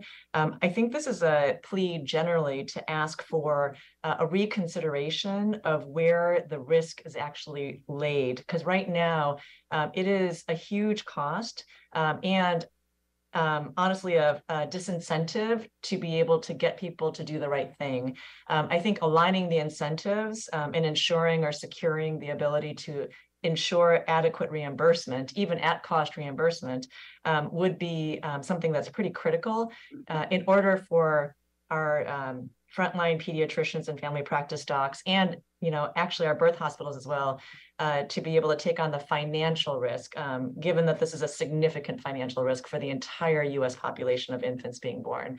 Um, so I realize that's a huge question um, that goes beyond AHIP, but I do think it's something that we really need to think carefully about, especially as these products become more expensive. So Dr. Grubb, did you want to comment on the uh, prior uh, questions? And if you're able to comment on this as well, that would be super helpful.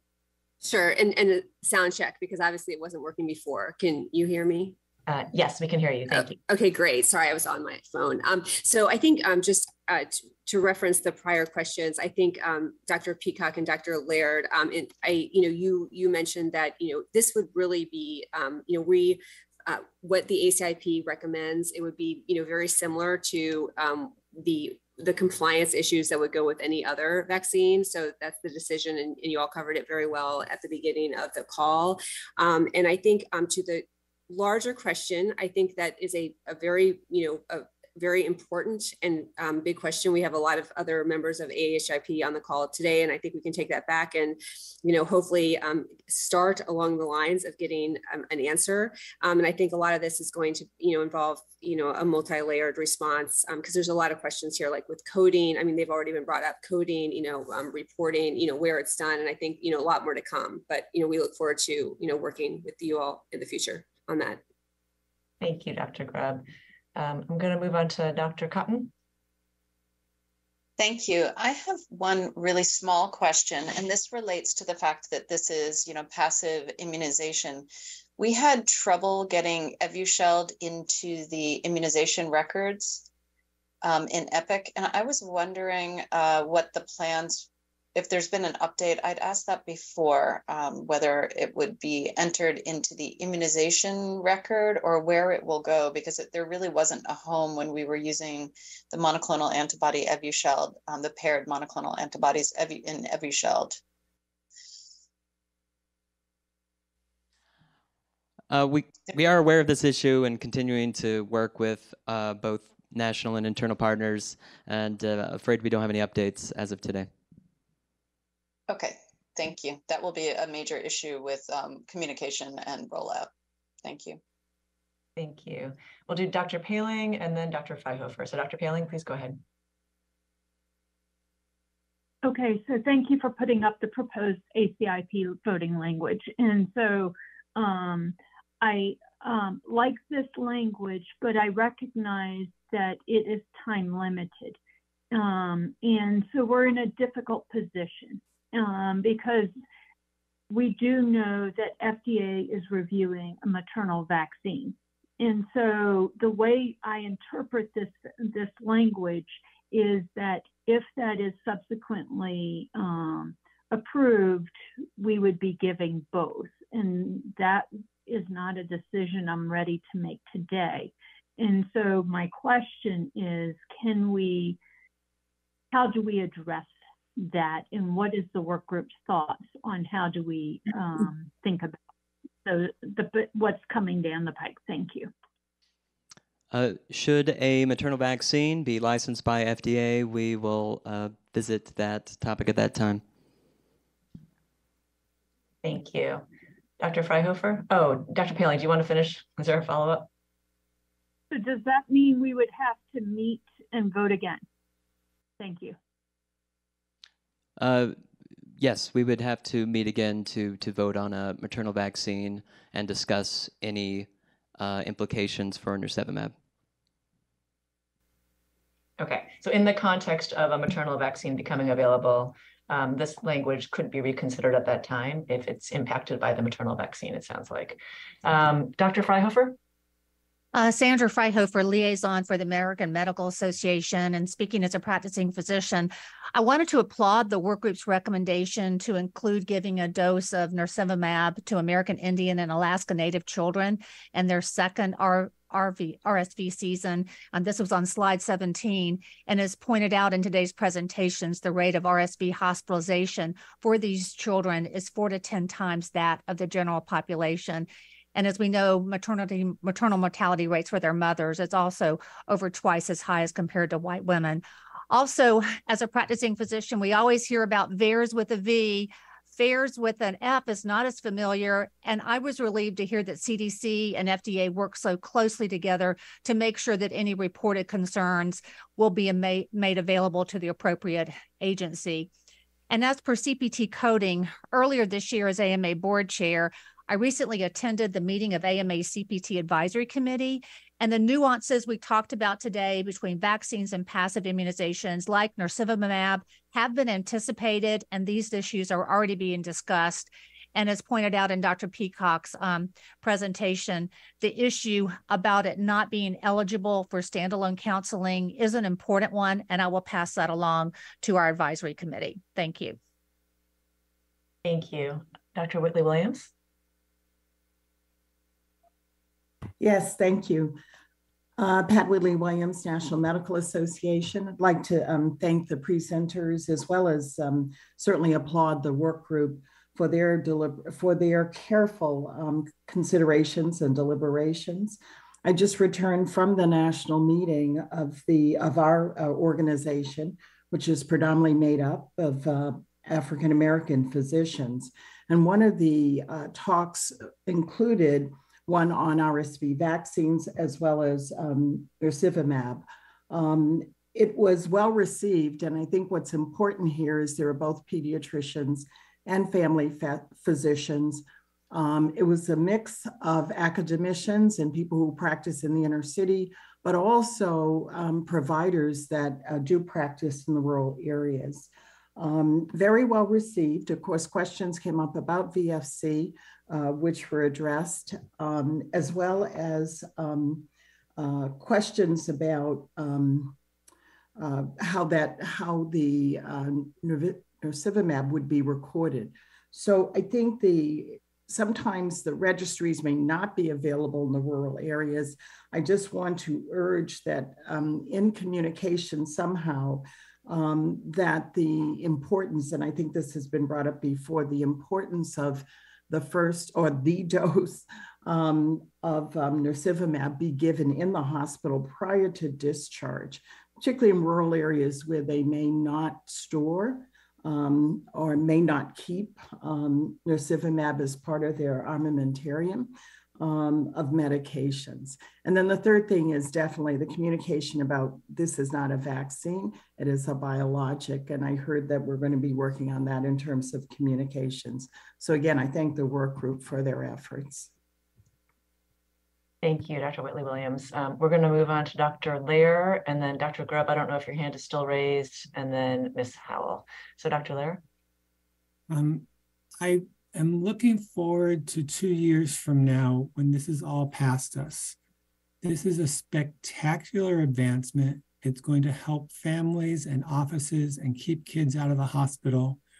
And two years from now, it'll be covered by insurances and all the implementation will be in place. So there will be growing pains, but I don't want to lose sight of how important this advancement is. With regard to the language in front of us, I'm totally in favor of the first proposal. I am wrestling with the second proposal. It is a very expensive proposal. It is a lot of extrapolation. It will promote equity. I have not yet decided how I'm going to come down on this, but I wanted to at least express my hesitation about the second proposal. Thank you. Thank you, Dr. Loehr. Dr. Long, did you want to respond? Yes, um, thanks, Dr. Loehr, for, for your always uh, thoughtful comments. Um, when you think about the, the second proposal, first of all, um, the groups that are uh, part of the AAP recommendations are already receiving palivizumab, which would be much, much, much, much more expensive than this. And the only increase or expansion of the group would be to include the, um, the Alaska Native and American Indians and their risks, and as well as the risks of those that are in AAP recommendations of severe disease, risk of severe disease, not just increased risk of hospitalization, but increased risk of a severe disease. Those, those groups were in the six to 10 times greater than the population at large. So this is a very small group of children. Um, we think, uh, Dr. Jones, re, re, tell me if, if I haven't said this right, that it would be well below 1% of the American population of children 8 to 19 months. And they are already costing a lot of money because of palivizumab. And we did not have the data to say that we should remove an indication for passive protection for those who are already um, receiving palivizumab. I don't know if that helps. Um, I'm going to call on Dr. Jones for a moment to also provide a response. Yeah, thank you, Dr. Long. Uh, just echoing her comments. I was wondering if is the concern, um, uh, yeah, for for those who are currently recommended by AAP to receive palivizumab, uh, that second indication we would expect to be cost saving. Um, and another um, consideration for the American Indian and Alaska Native population is there are uh, many areas where uh, if a child gets severe RSV, they require emergency air transport to um, to receive appropriate medical care, uh, which was another um, consideration and, and, inclusion. So at this time, our our considerations for that second indication is as uh, Dr. Long uh, just described. Thank you. Um, I had, uh, I, am actually going to call Ms. Howell next because I had already mentioned that, and then we'll go to Dr. Poehling and Dr. Sanchez. Thank you. Uh, Molly Howell, representing the Association of Immunization Managers, uh, which is a membership association uh, made up of the 64 federally funded state, territorial, and city health agencies that administer immunization programs at the local level uh, and actually administer locally the Vaccines for Children program and oversee the implementation of immunization information systems. Uh, as a group, we have been anticipating Nirsevimab availability for a while now and been looking forward to planning assumptions and collaborating with CDC and others to overcome the challenges regarding implementation. Uh, I did have one question. Uh, one is regarding the Vaccines for Children program. Uh, currently, for vaccines included in VFC, there is a fee cap for the administration of vaccines. And if added to VFC, will that fee cap also apply to Nirsevimab, although it is being classified as a drug and not a vaccine? Thank you. Uh, we'd like to ask uh, CMS if they could comment. Sure, this is Mary Beth Hance from CMS. Um, because it is administered under the Vaccines for Children's program, there the vaccine um, administration fee ceiling does have to apply.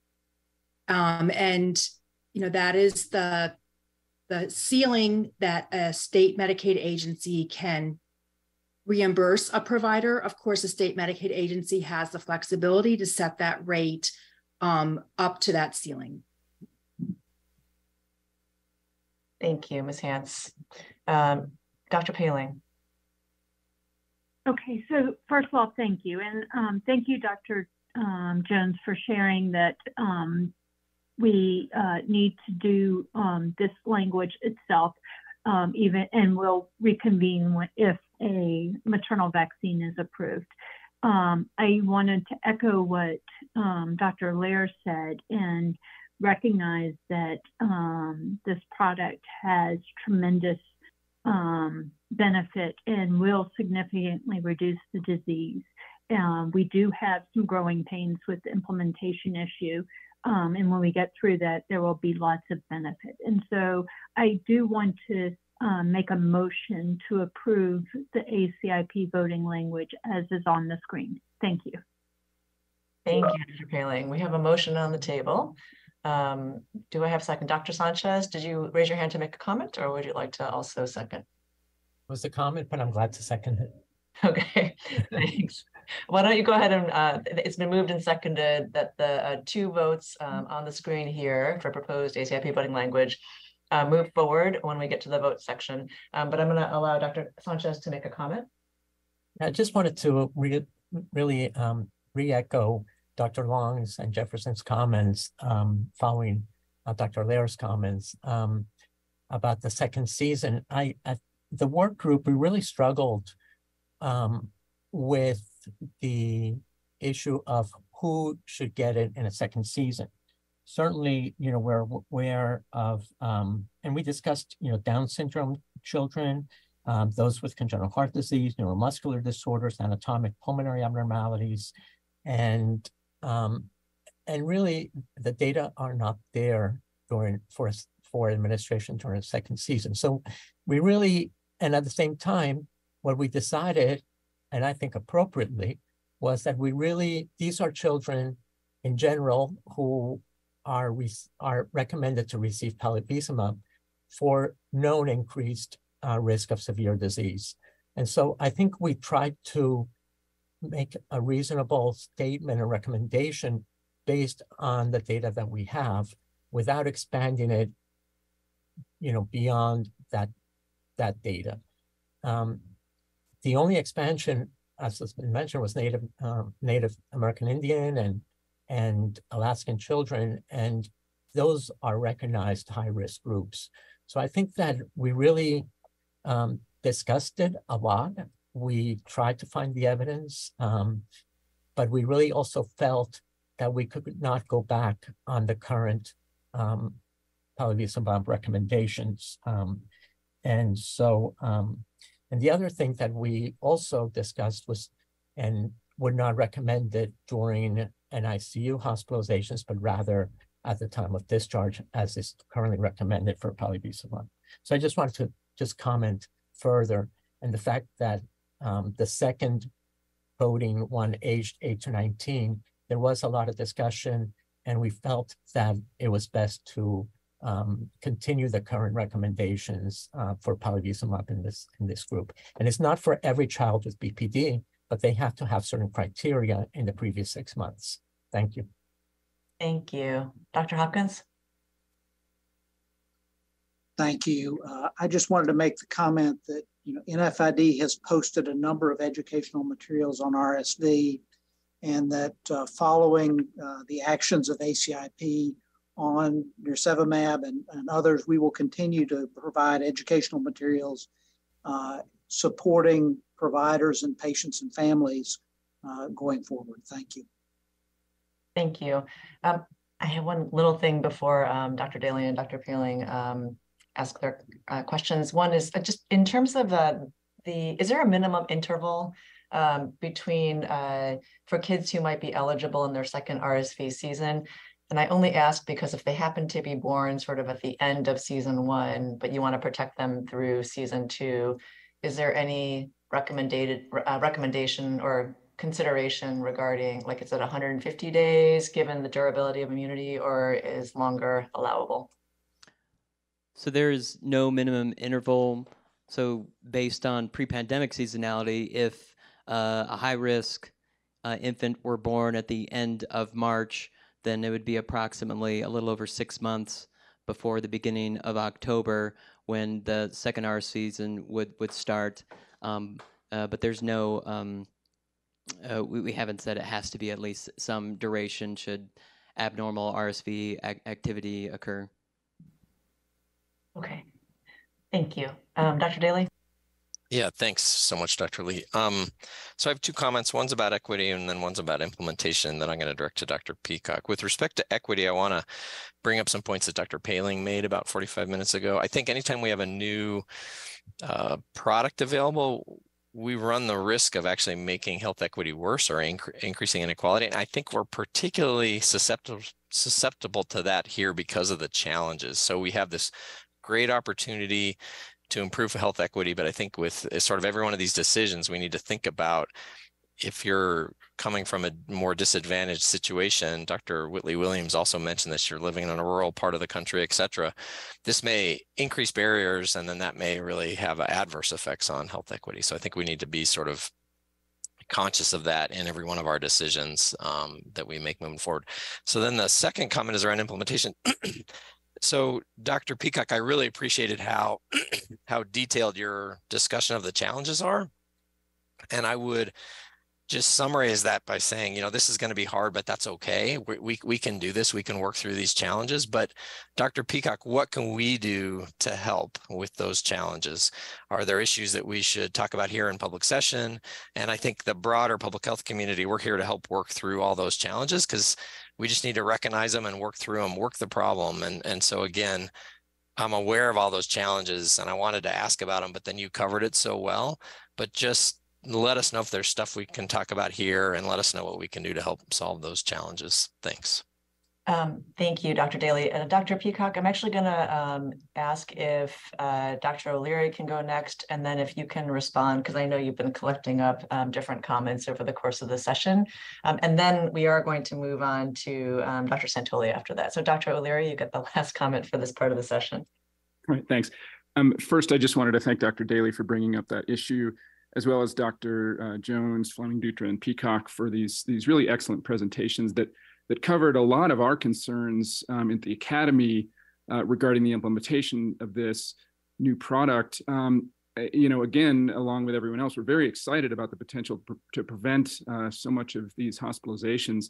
Um, one of we are working a lot internally, as well as uh, working with our partners in the federal government and state and local governments to uh, really focus on this issue of equity as we roll this product out. So there's, you know, a lot of the things that were covered in Dr. Peacock's presentation uh, as, as potential implementation and issues and barriers.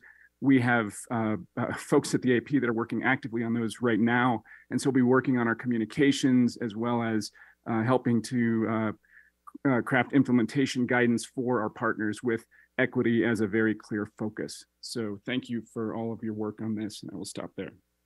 Thank you, Dr. O'Leary. Um, Dr. Peacock, you actually get the last word.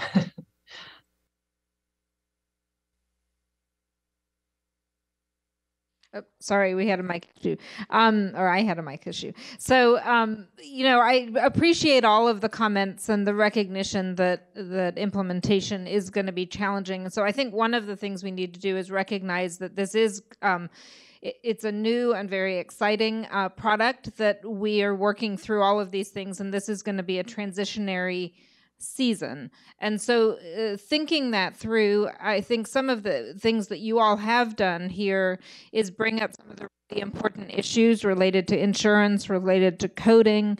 I think also the issue around equity. You know, Vaccines for Children is really an example of a program that has very successfully addressed health equity issues over the last 30 years. It provides access to not only children that are Medicaid uh, that are on Medicaid, but also children that are under or uninsured, um, as well as uh, uh, uh Native American, uh, Alaska Native children. And so um, you know, all of these considerations are very important, and I do think that we're going to need to work hand in hand with um, vaccine providers, with physicians, with nurses, with others that are involved in this, as well as our um, uh, health departments to to make sure that we continue to think about how are we going to provide um, access as much access as we can both in this implementation time and then as we move forward. And so,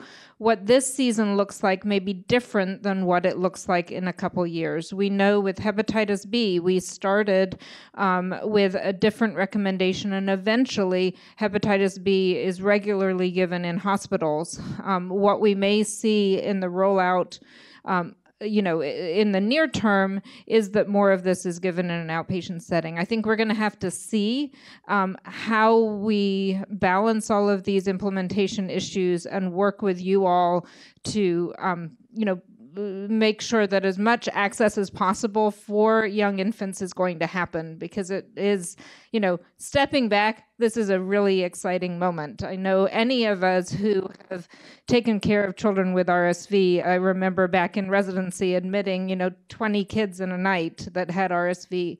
I mean, this is really an amazing time. And so I think if we all work together, we will figure out um, some of these implementation issues. Thank you so much, Dr. Peacock. Um, with that, I think we're ready to move on to the Vaccines for Children resolution. Dr. Jeannie Santoli, the floor is yours. Thank you. Next slide. So um, we're bringing forward a new resolution for your consideration. The purpose of the resolution is to add the to add the monoclonal antibody preparation nirsevimab for infants to prevent RSV disease to the VFC program. Next slide. In terms of the eligible groups, the first is infants aged less than eight months, born during or entering their first RSV season. The second is children aged 11 to 19 months, as noted in Table 1, which we'll see on the next slide, who are at increased risk of severe RSV disease and entering their second RSV season. This is table one, showing the children at increased risk of severe RSV disease. And this actually mirrors uh, information that you've seen in prior presentations during this session. Next slide. The recommended vaccination schedule and dosage intervals. The table below summarizes the immunization schedule for administering RSV monoclonal antibody during the first and second RSV season. I'll give you a moment to look at this. This also mirrors the discussion that we've been having this morning.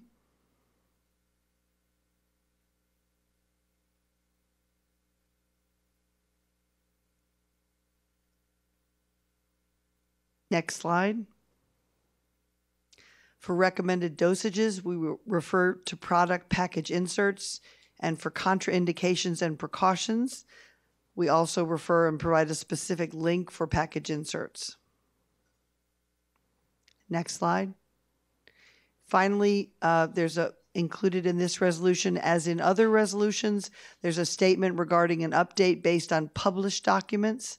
So if an ACIP recommendation regarding RSV prevention with nirsevimab is published within six months, Following this resolution, the relevant language above, except for the eligible group sections, will be replaced with the language in the recommendation and incorporated by reference. And that concludes the overview of the proposed VFC resolution. Thank you. Um, do any of my colleagues have any questions for Dr. Santoli?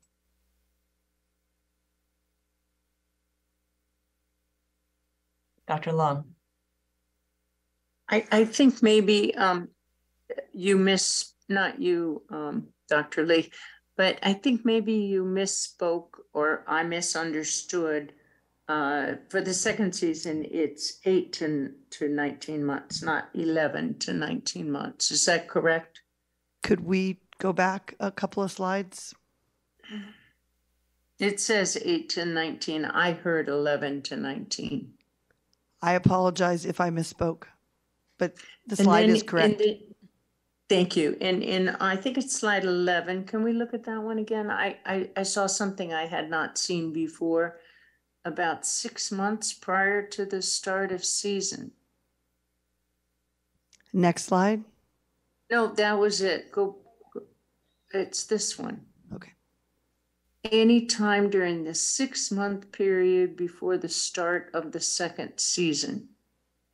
Oh, I'm sorry. That's six months intervention. I thought, I'm, I again misunderstood this one. I thought you were stating that you could give the monoclonal antibody six months, as early as six months before the start of the season.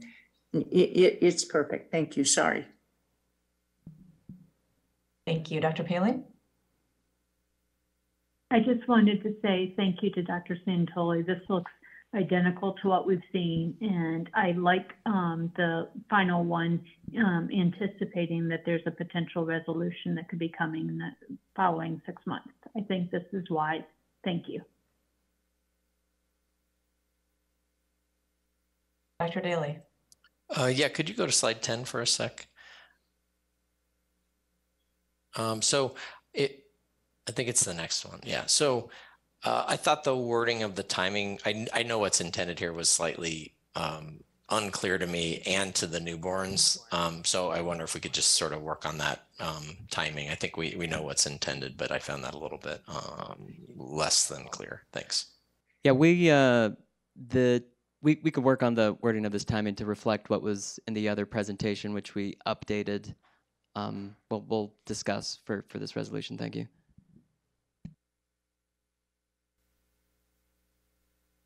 Thank you. And can I just confirm congenital heart disease is somewhere on that table, correct?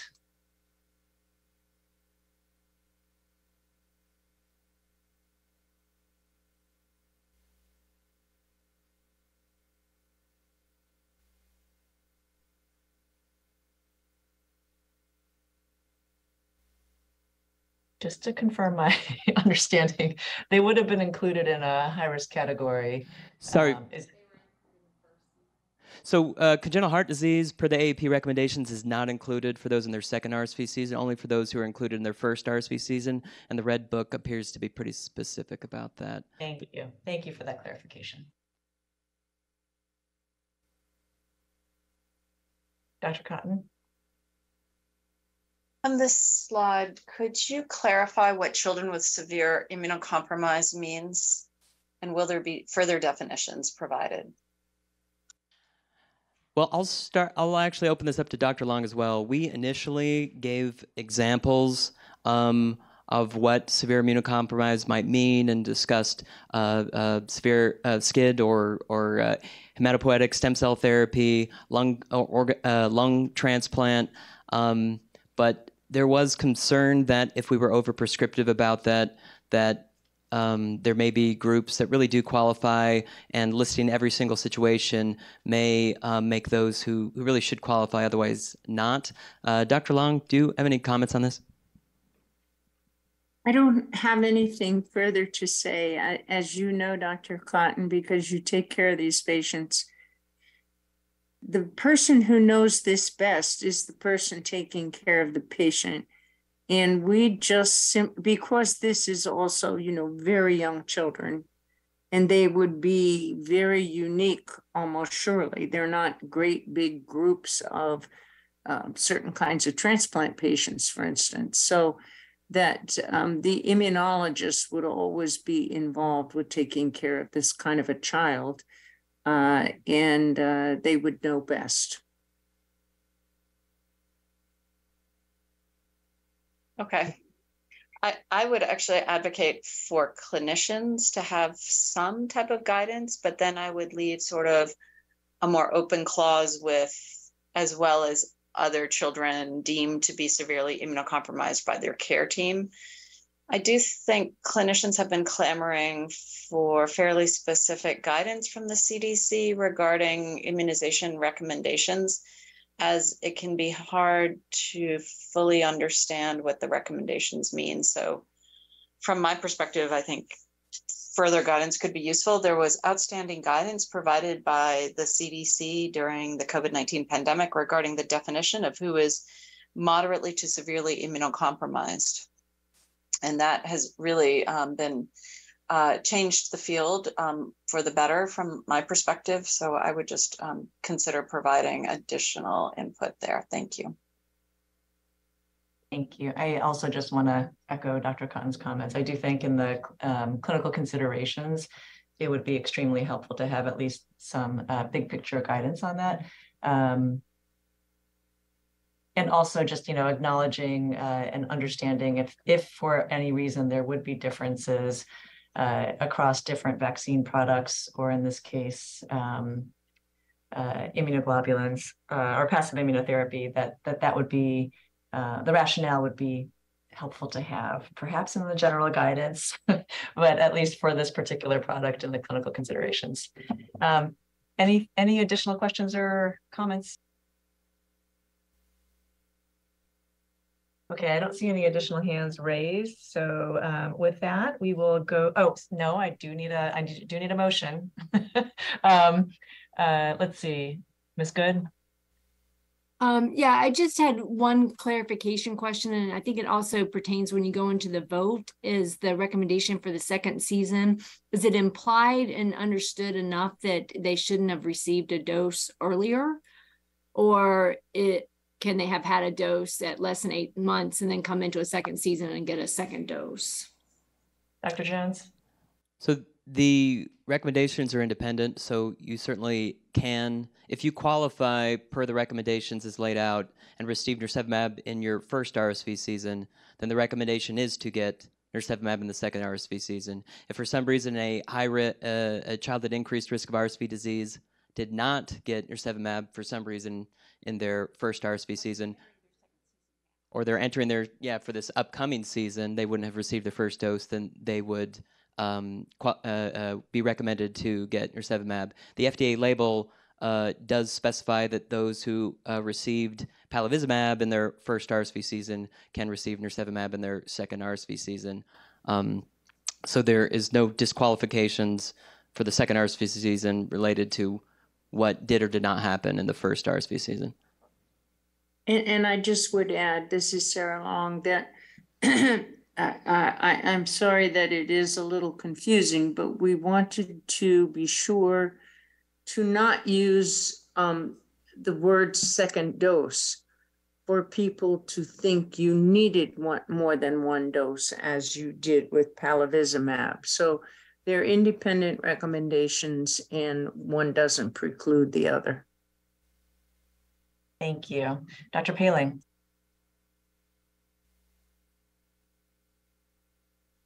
Dr. Poehling, you're muted.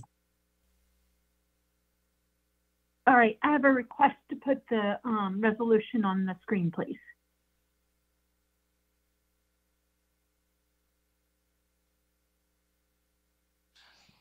Uh, was this for the VFC resolution or for the initial proposed language? VFC resolution. I'm sorry for not being clear. Yes. That, so all of the slides combined are the VFC resolution. Okay, so it's not one slide. Um, so I would like to make a motion to accept the resolution with the clarification in the table as we've described. Thank you. Thank you, Dr. Poehling. Um, do I have a second?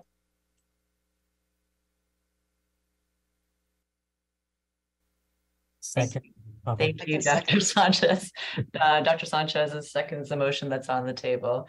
And with that, it's been moved and seconded that we accept the VFC resolution um, as discussed. And with that, I believe we can uh, move on to our break. I'm going to ask if we can return at um, the top of the hour. So it'll be, I believe it'll be 2 p.m. East Coast time. And uh, we'll see you then. Thanks everyone for your work.